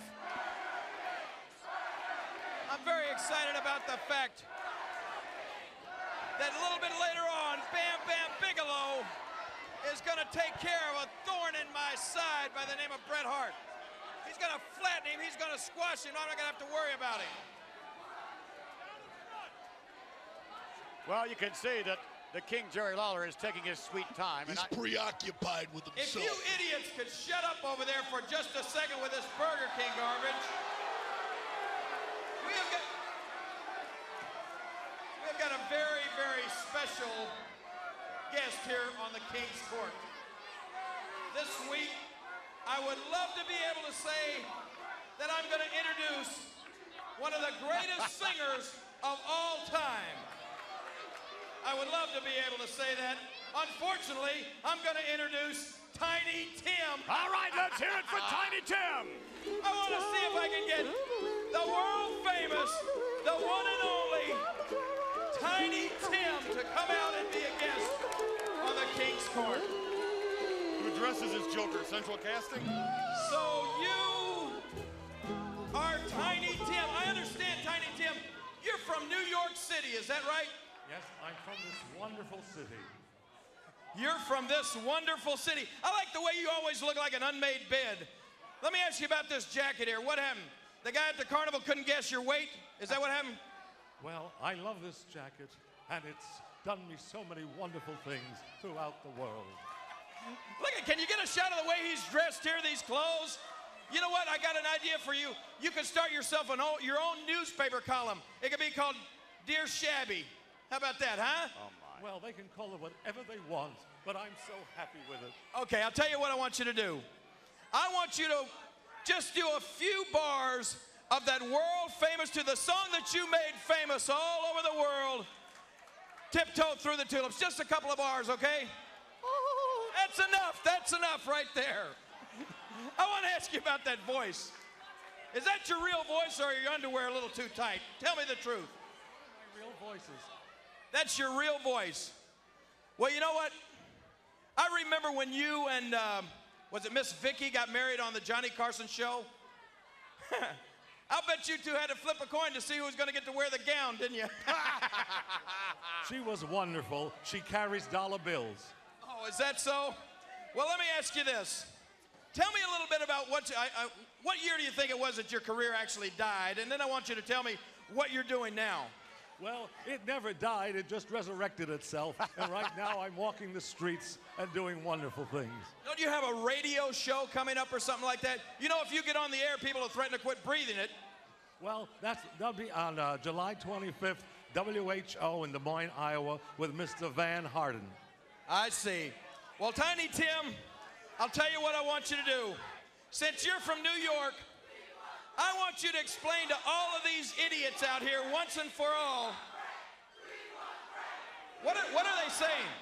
I'm sorry, I can't hear. well, I can't understand them. They're a bunch of mushmouths. But these are the idiots that call me the Burger King. And I get a little upset when they call me a Burger King. Now, you, Tiny Tim, you don't think I'm a Burger King, do you? You're no Burger King. You heard that, didn't you, Uh, New York? about that? This is a man from New York, and his he knows that I am not a Burger King, right, Tiny Tim? Right. You're the Dairy Queen. the Dairy Queen. I like it. What did you say? You're the Dairy Queen. I like that. Mr. Lawler's not going to like this at all. Stick. Knock him out. Come here, Tiny Tim. Dairy Queen. Dairy Queen. Now, I guess you think that was real funny, don't you? I guess you think you're a big comedian out here calling me a Dairy Queen. Now, let me ask you something, Tiny Tim. Why don't you be a man? Why don't you get a real guitar instead of this little ukulele you got here? Why don't you do that, Tiny Tim? I like the ukulele. Oh, you like that ukulele? You. It's easy to handle. Oh, it's easy to handle. Well, I'm going to tell you something, Tiny Tim. Let me handle that ukulele for you a little bit. You want to call me a Dairy Queen? Huh? Oh, Here's come what I I can't ukulele, Tiny Tim. That's his cherry Do you see that? There's your ukulele. Tiny Tim. Oh, look at Take look Tiny Tim is distraught. Tiny Tim, he can't believe what's happened. There you go. He's picking up the pieces. You've broken his heart. You've broken Tiny That's what I'm going to do to Bret Hart. Exactly what I did to his ukulele. Christoph against the one, two, three kid. It was uh, right here in this squared circle. The one, two, three kid made a reputation for himself and continues to do so. Cover. And the one, two, three kid now. Almost the quickest victory of all time right there. Uh-oh. Wait a minute. By the way, we got word during the break the the one, two, three kid definitely confirmed that he will, in fact, take on Ted DiBiase. He accepted it. Yes. And the location and time to. Oh, my! What a kick. To be determined in the future. A cover to it. No, can't quite put him away. Ted DiBiase getting a bird's eye view of the skills of the one, two, three kid. And I don't think the Million Dollar Man's ever faced anyone quite like the one, two, three kid. But wait a There's a minute. promotion over here. Check out the cheese bone. Oh, yeah, Razor Ramon coming on. He's taking a look as well on one side. Just to make sure that Ted DiBiase doesn't get too close to the kid. This is getting to be like a lumberjack match. Meanwhile, the kid is all over Duffy. I don't like it out here. Something's gonna happen. We could get hurt. Oh, my. The kid with his own very unique style. Oh, look out. And Ted DiBiase, I would suspect, is wondering whether or not he can beat the one, two, three kid. Oh, my. Possibly a loss of concentration there, but who can blame the kid right then? You know, maybe it's the kid who's in trouble. DiBiase wants him. Maybe Razor wants him too. Uh, I think Razor uh, has his own problems. Nice This maneuver. guy's awesome, man. I'm telling you, the one, two, three kid's great. Razor Ramon, I believe, out here uh, keeping an eye on Ted DiBiase, as well as Irwin R. Schyster. you don't know what's going to happen here. To the buckle, moving in, drop kick in the corner. One, two, three kid has pretty much been all over. Uh-oh, wait, wait a minute. Look in the face of Money Incorporated, and yes, looking right back at him. What's going to happen? Oh, my, forget about it. He's not going anyplace. I don't believe so, except to the showers. Count three, the victory for the one, two, three kid. Here is Second thoughts,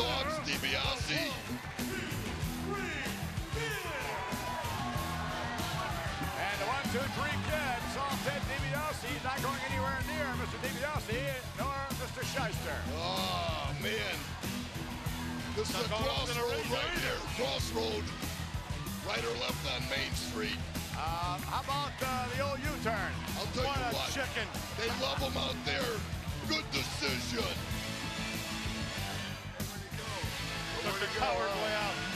Money Incorporated. Ted DiBiase, Irwin R. Schyster, and wait, wait a minute. I'd like to hear this conversation. We may have a problem yet. We may have a big problem, ladies and gentlemen.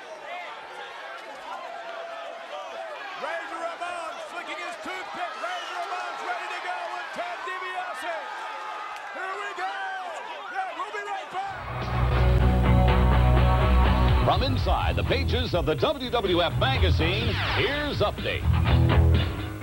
Hello, everyone, and welcome to Update. I'm Gorilla Monsoon, brought to you this week by IcoPro.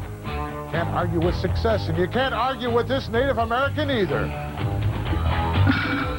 You've got to want it. Well, folks, ever since the slam heard round the world, the groundswell of support for Lex Luger has been just unbelievable. President Jack Tunney's office has been bombarded by phone calls, by telegrams, by faxes, demanding that Lex Luger get a crack at WWF champion Yokozuna. Mr. Fuji's been beside himself. He's sealed his lips.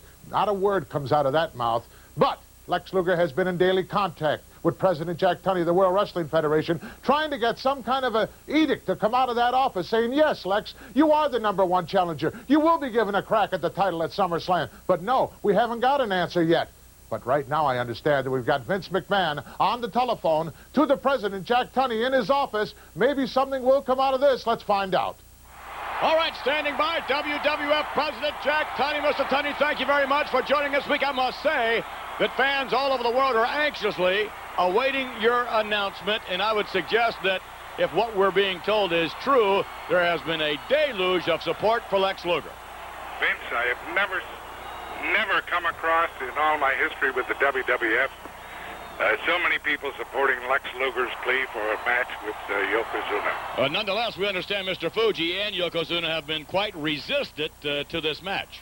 Well, Mr. Fuji um, uh, suggests that Luger has an unfair advantage due to the uh, steel plate in his arm from the motorcycle accident. I see. Well, nonetheless, is it a go or not? Does Lex Luger get his shot or not? Very definitely. All right, there you have it from WWF But President Jack Vince, Tunney. Vince, just, just one second. There is one stipulation. A stipulation. Yes. Lex Luger must wear an approved uh, forearm pad approved by this office uh, covering the uh, arm with a steel plate. A protective uh, foam pad of Uh, some type. Well, unquestionably, that is a stipulation, no doubt, from Mr. Fuji and Yokozuna. Yes. But nonetheless, uh, any other stipulations, Mr. Tunney? No, it's a title match. There it goes. All right, and there it goes for SummerSlam. We thank you very much, WWF President Jack Tunney. Well, folks, it is official. Lock it up, etch it in stone, do whatever you like.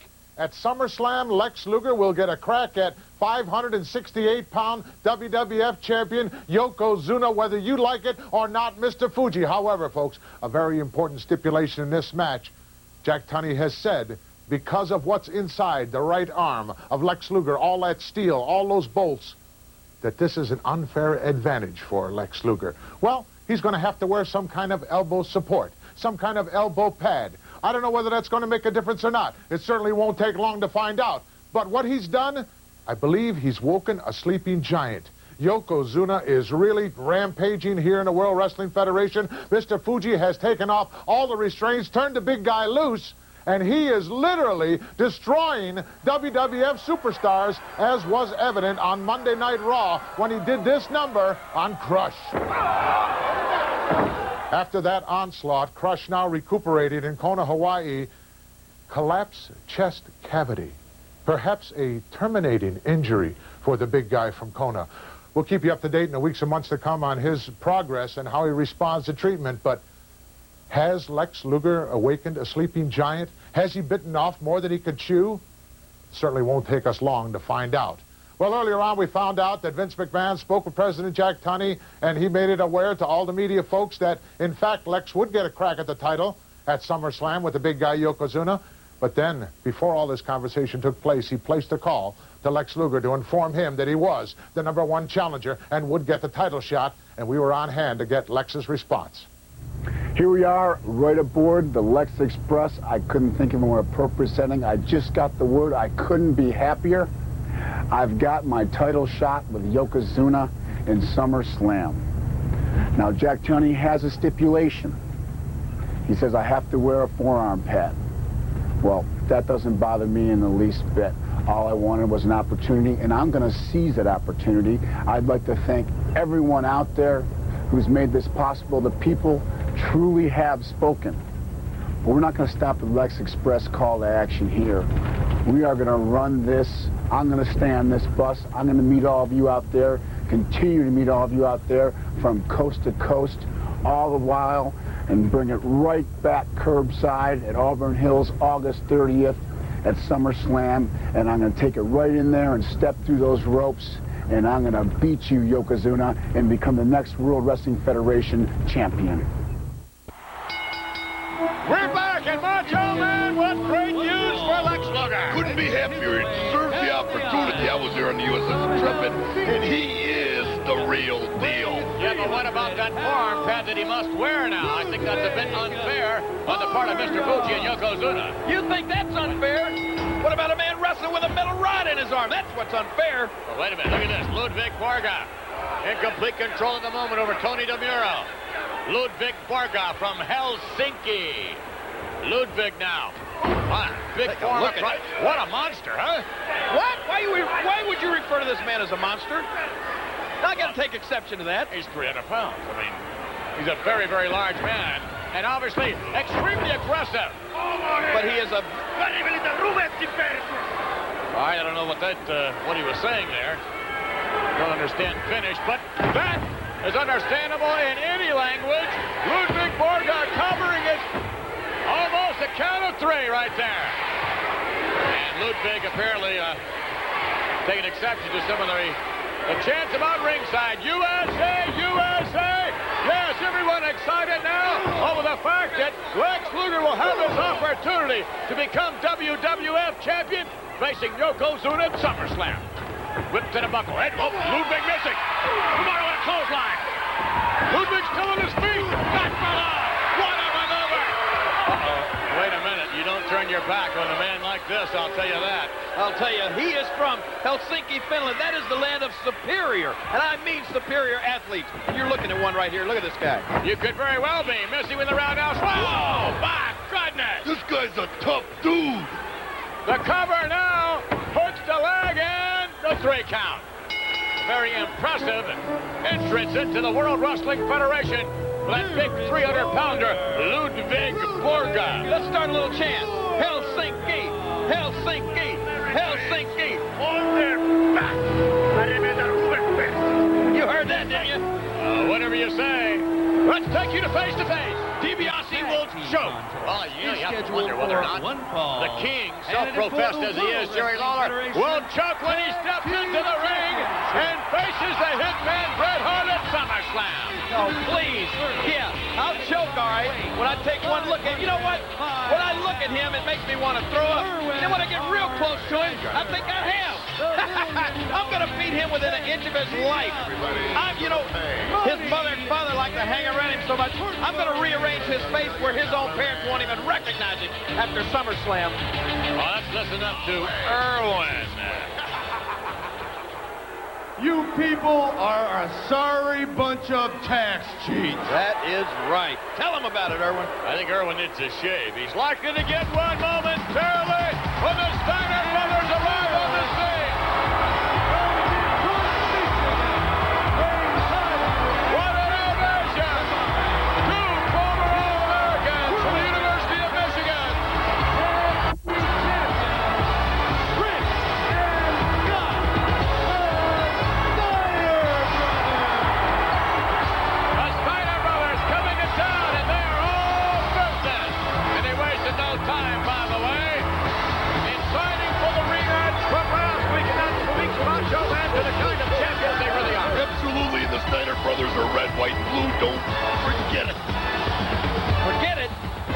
don't have the brains to remember their own names. Look at them. Oh, they Oh, were, yes.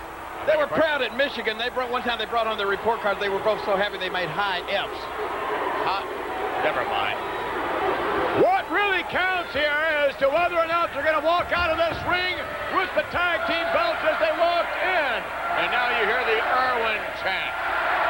Must be awful going through life not liking your name, huh? I mean, what about you, Mr. Lawler? What about me? I love my name. The King? What could be better than that? Well, Again, some people don't like their name. Like Macho Man over there. A scoop and a slam by Irwin. But make no mistake about Irwin.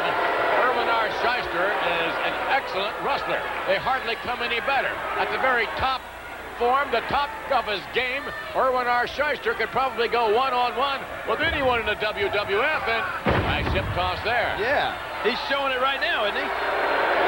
Him shouting Irwin now. He shut that crowd up quick. I love it. Look at determination in the face of Scotty Steiner. Scott Steiner now trying to figure out Irwin R. Schyster. Back to the corner. Come on, ref, get in there. Like you to find a clean break here. Oh, but it's blocked by Scott Steiner. Scotty,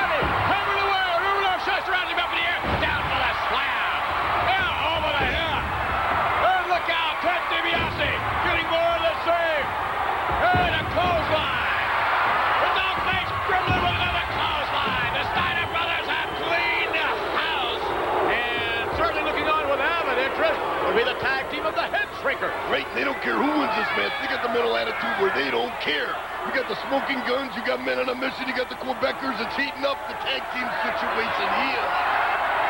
Well, the situation down in Asbury Park is heating up as well. The World Wrestling Federation headed to Asbury Park's Convention Hall in August, Saturday night. August 14, it's sun and fun. The beach can provide the sun. The WWF will provide the fun, no doubt. In Asbury Park's Convention Hall, Saturday night, August 14. Look out, here we come. Ooh, look at that. Ramming the knee to the midsection. Ooh, follow through an elbow to the back of the neck. Irwin R. Schyster now. Scotty Steiner in a world of trouble. Look out! Double team going on.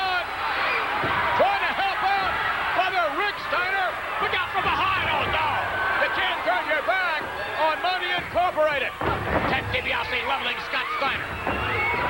Money Incorporated knowing full well this may be their very last opportunity to become tag team champions. And they're pulling out all the stops. Right now, and Scott Steiner going to the outside as well. Both Steiner brothers on the outside. Now Money Incorporated have clean house. No, wait a minute. Look at this. Check it out. Coming in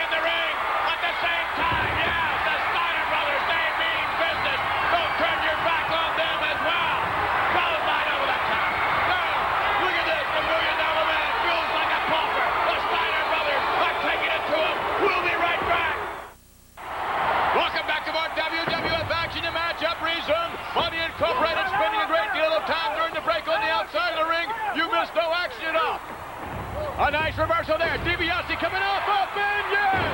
Nice back body drop. Come on, DiBiase. You ought to be able to outsmart these two idiots. Oh, oh wait a minute. Look there at it that. is, right there. Oh, what a maneuver by Ted DiBiase. Rick Steiner distracted by the official, Ted DiBiase. Ripping Rick Steiner. Wait a minute. I think Irwin R. Schyster's going out there as well. Come on. He's got a tag rope wrapped around his throat. He does not. Get in there, Rap. Come on, get in there. Look at that. I see nothing. They're pulling out all the stops.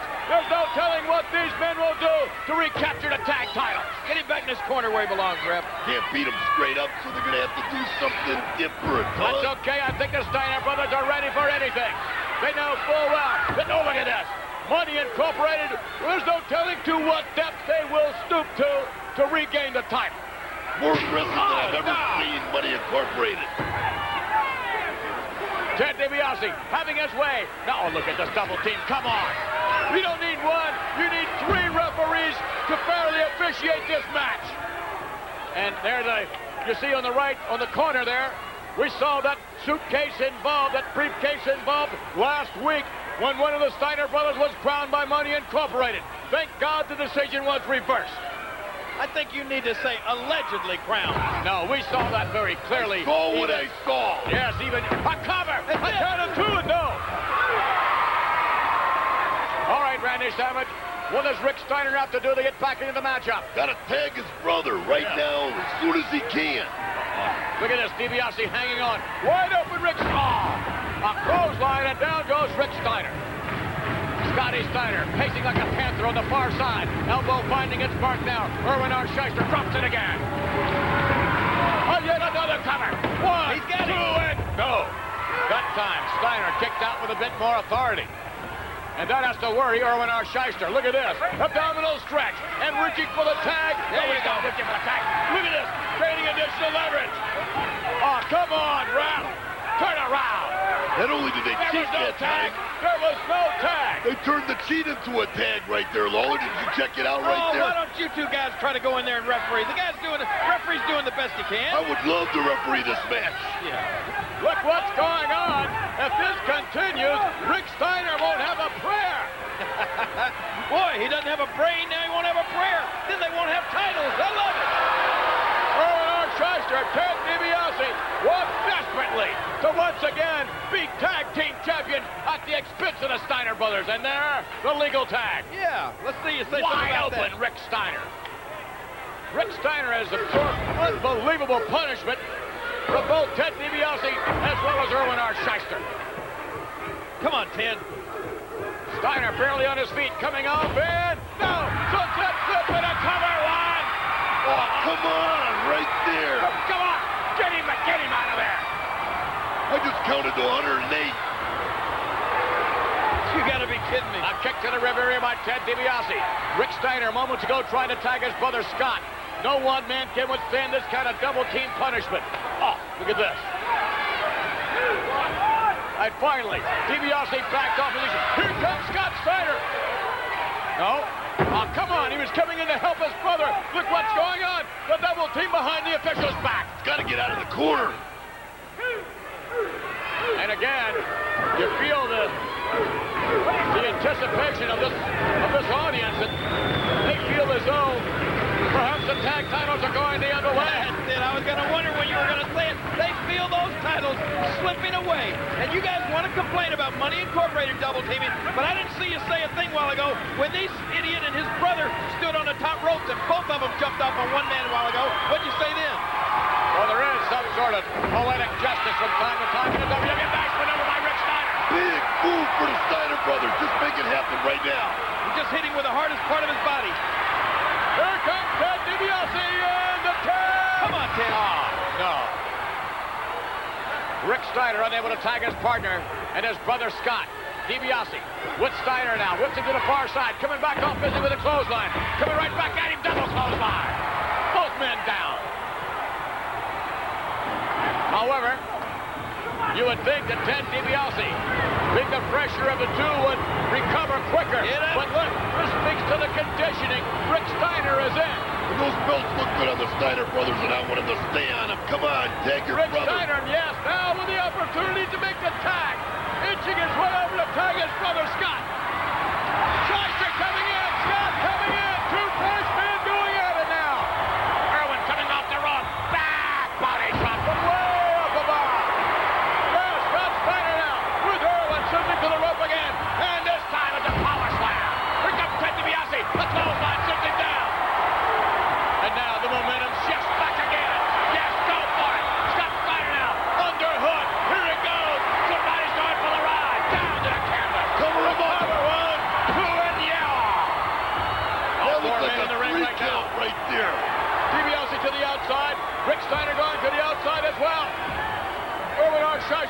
Clue to where he is. He's going to the outside.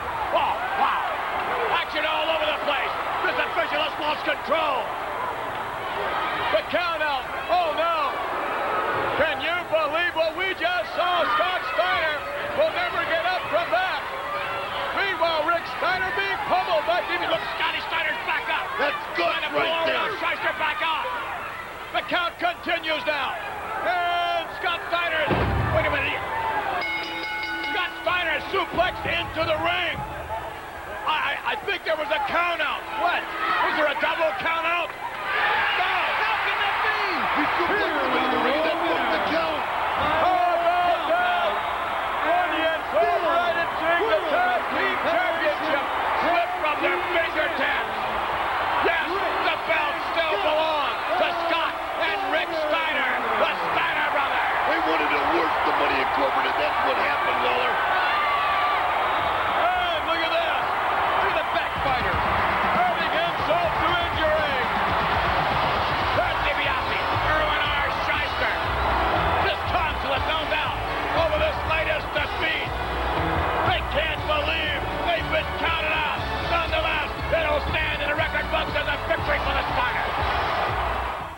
People ask me, what did it feel like winning the King of the Ring tournament? It was a great moment, maybe one of the highlights of my entire wrestling career. And then Jerry Lawler had to come up and spoil everything. He beat me. He beat me on that platform like I have never been beat in my entire career or my lifetime. It felt like being in a car crash on a conscious street. I may have been upside down, but the wheels were turning. And those same wheels are going to grind you up, Jerry Lawler. They are going to spit you out, and I am going to obliterate you in the SummerSlam. What about jump that's going to be right here next week? Sensational Sherri squaring off against Luna Vachon. One on one.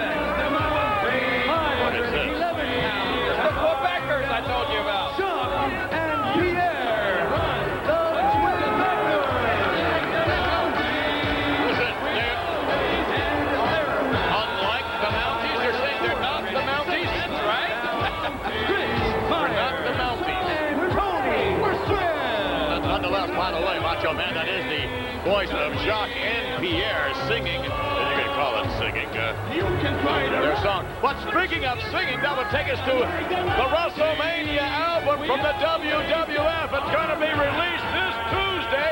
Macho Man Randy Savage. Wait till you hear his single, How to Knock Your Socks Off. Hacksaw Jim Duggan has one. The Hitman Bret Hart has one. And of course, Wait a minute. You mean there's an album going to be released that's got the Macho Man, Hacksaw, and Bret the Hitman Hart singing on it? a whole bunch more. That won't be released. That'll escape. Oh, please. I mean, wait do you hear the WWF Summer Slam Jam tune. That's really catchy. Look at this. Ow. What a slap. Back in control now. That's Jacques. And Jacques setting up with, oh my goodness, how about that maneuver? Different variation of the pile driver. And here comes Pierre now. Pierre off the rope and what a maneuver. Wow. Did I tell you these Quebecers were great? The Quebecers. Jacques and, ooh, oh. They mean, I guess they're not the Mounties. There are no Mounties that would act like this. The Mounties are a respected law enforcement agency. These guys would take the law into their own hands. Here comes Rich Myers now to try his luck. Pierre. All over it. Look at this. Pierre and Jacques, the Quebecers, and a big slam. You can bet the Steiner brothers are watching this match. The Quebecers look pretty tough in their debut. Indeed. Tag is made, and here comes... No, now the is made. Here comes Jacques down from the top rope. Take a look at this. Whoa! Smile on the face of Jacques. Yeah, you know, the Steiner brothers, they might learn a few things from the Quebecers. Oh, well, really? No, I take that back. They went to... Comes Pierre. Wow! The Steiner brothers went to Michigan University for about 18 years and they didn't learn anything, so I don't think they'll learn anything from Oh, what school did you go to, King? The School of Hard Knocks. I see. That's the school I'm going to take Bret the Hitman Hart to. Yeah, right, the School of Hard Knocks. Oh, my! Double team ever on the part of Jacques and Pierre. And unfortunately, Rich Myers is having his problems much like his partner Tony Webb did a little bit earlier on. Off the rope now, Myers, and what in the world is this? Oh, wow, wow, forget about it. And then from there, they're not through. Oh, unbelievable. A very impressive debut for the Quebecers, and a three count easily accomplished by Pierre Jacques. No, they're not the Mounties. They're the Quebecers.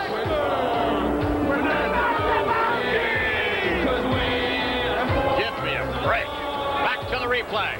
Well,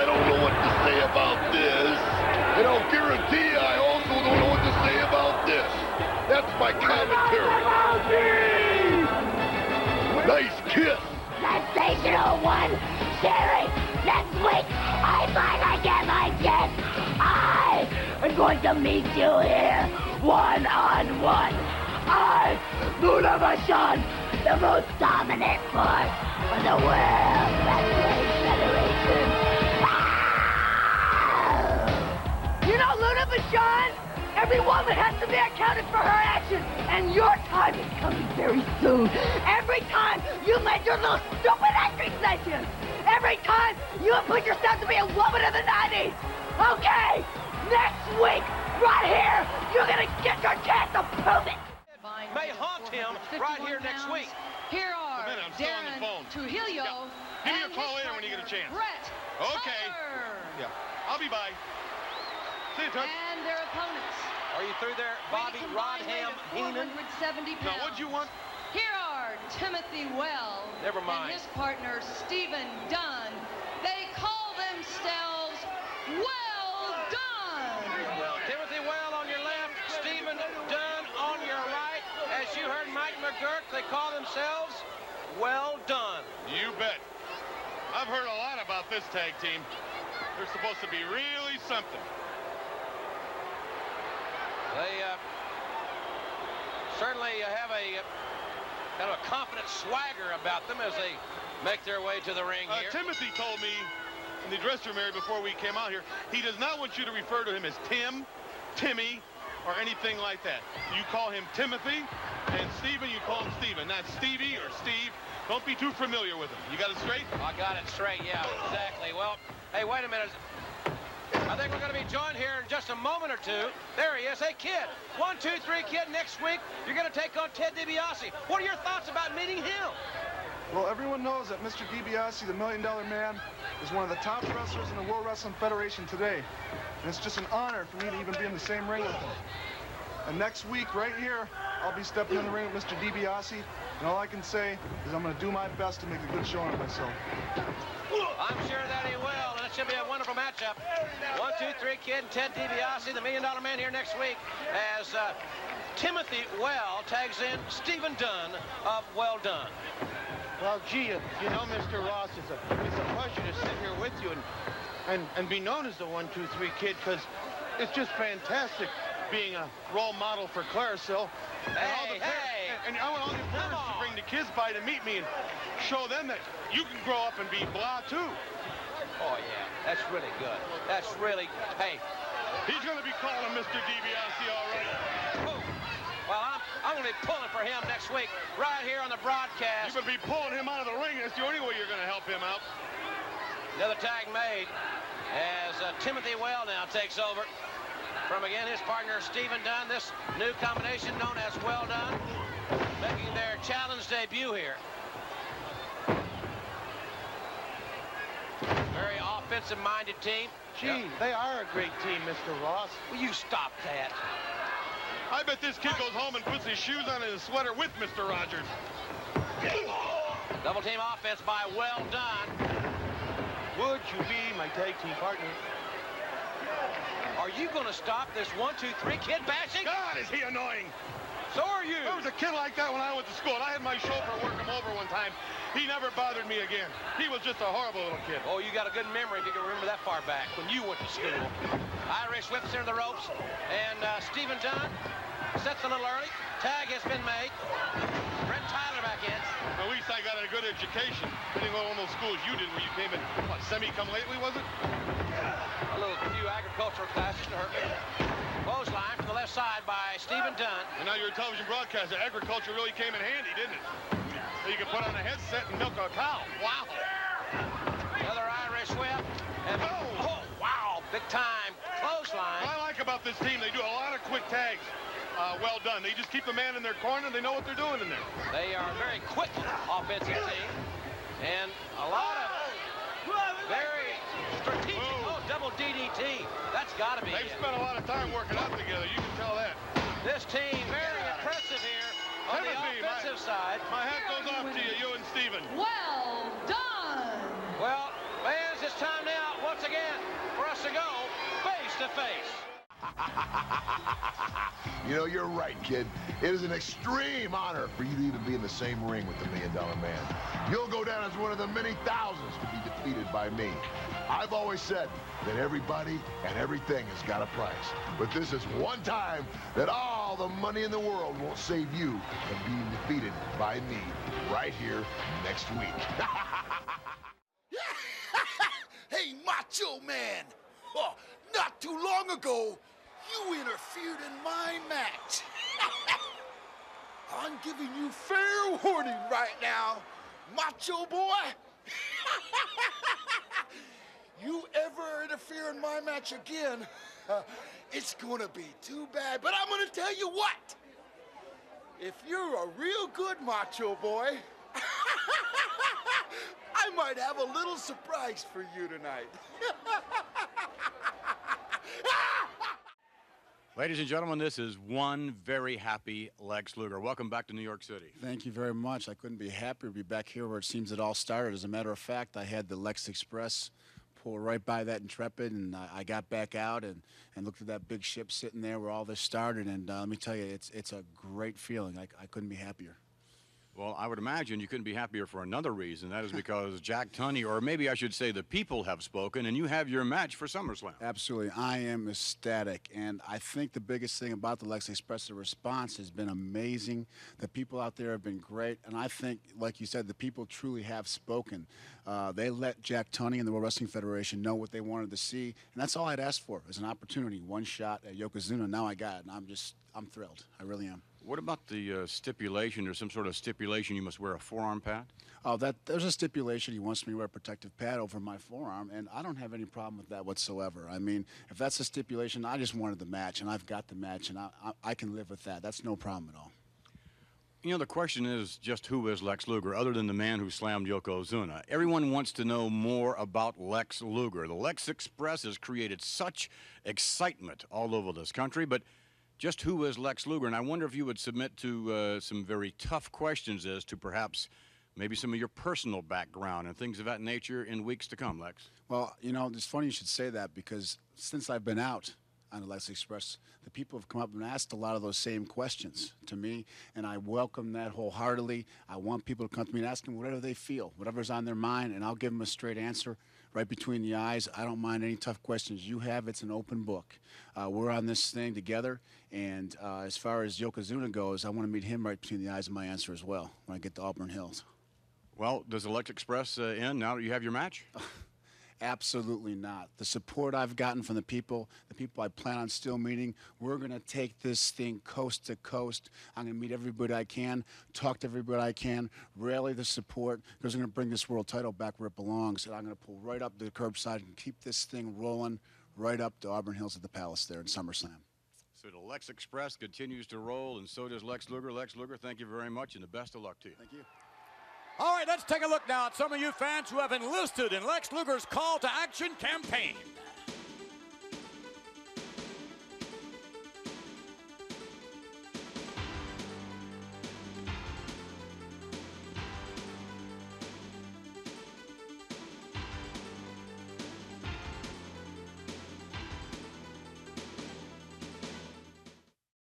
When people want to find out what really irks me, what really ticks me off, it's when somebody like Jerry Lawler stoops so low and has the utter audacity to drag my poor family into things. When I go in the ring, I do my job, but I like to keep my family separate.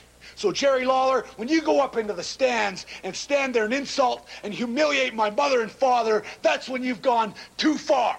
And what you did to my brother Owen, again, you've gone too far because you've dragged this thing to a higher level. Now I am going to destroy you in the SummerSlam. I look forward when I walk to the ring in the SummerSlam. It's going to be like when I see that ring, it's going to look like scaffold. And when I see the scaffold, it's going to remind me of the old days when they used to take those kings and chop their heads off. Well, that's what's going to happen to you in the SummerSlam when the real king wipes you out.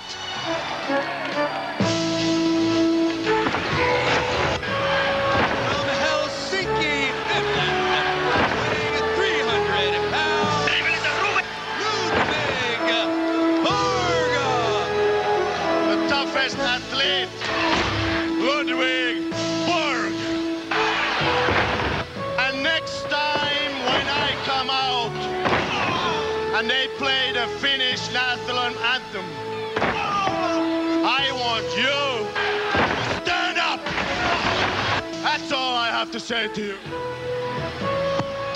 What a party it was, and yes, RCA releasing WWF WrestleMania the album. And Macho Man, I must say, you have been in great voice. Thank you very much. And Jerry Lawler, it's a good thing you're not on the album. Oh, we're, you know, you'd make a good backup singer. You got to back way up from the microphone where nobody can hear you. I wish you'd lose your voice. He might lose his voice and a whole lot more in this matchup at SummerSlam. But right now, here we go, ladies and gentlemen. Our feature matchup this week. Now, wait a minute. What is going on?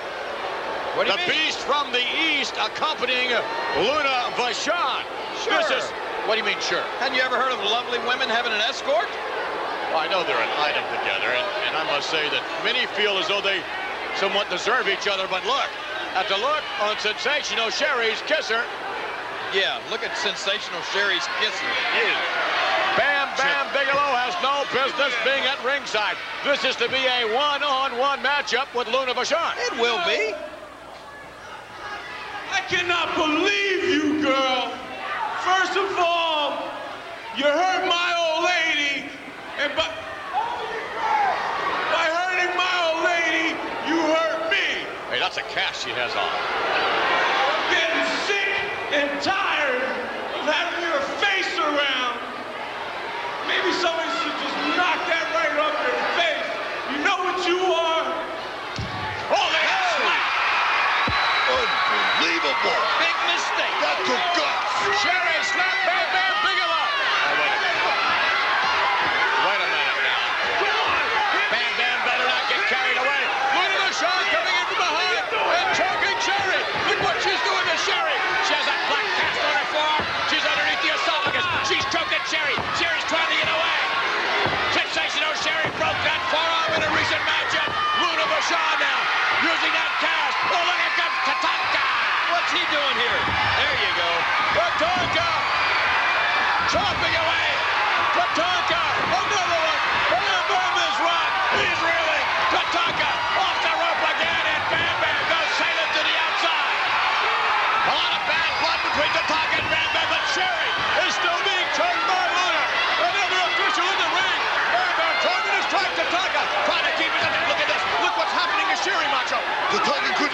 timing now, right now. Hey, listen, he just saved Sherri big time. Yeah, what's he doing out here? I can understand Bam Bam. He's got a vested interest in this match. Because you see, if something happens to Luna, you know, she could be in the Miss Universe contest that she's scheduled to be in. She what? She's scheduled to be a participant in the Miss Universe pageant. Yeah, well, I heard about that. Lawler's right. She's uh, the entry from the planet Uranus. And thank goodness for Tatanka, who came to the aid, who in fact came to the, the rescue of a Adam Solinda Stratus. Sensational Sherri. We'll be back as we continue with more WWF action.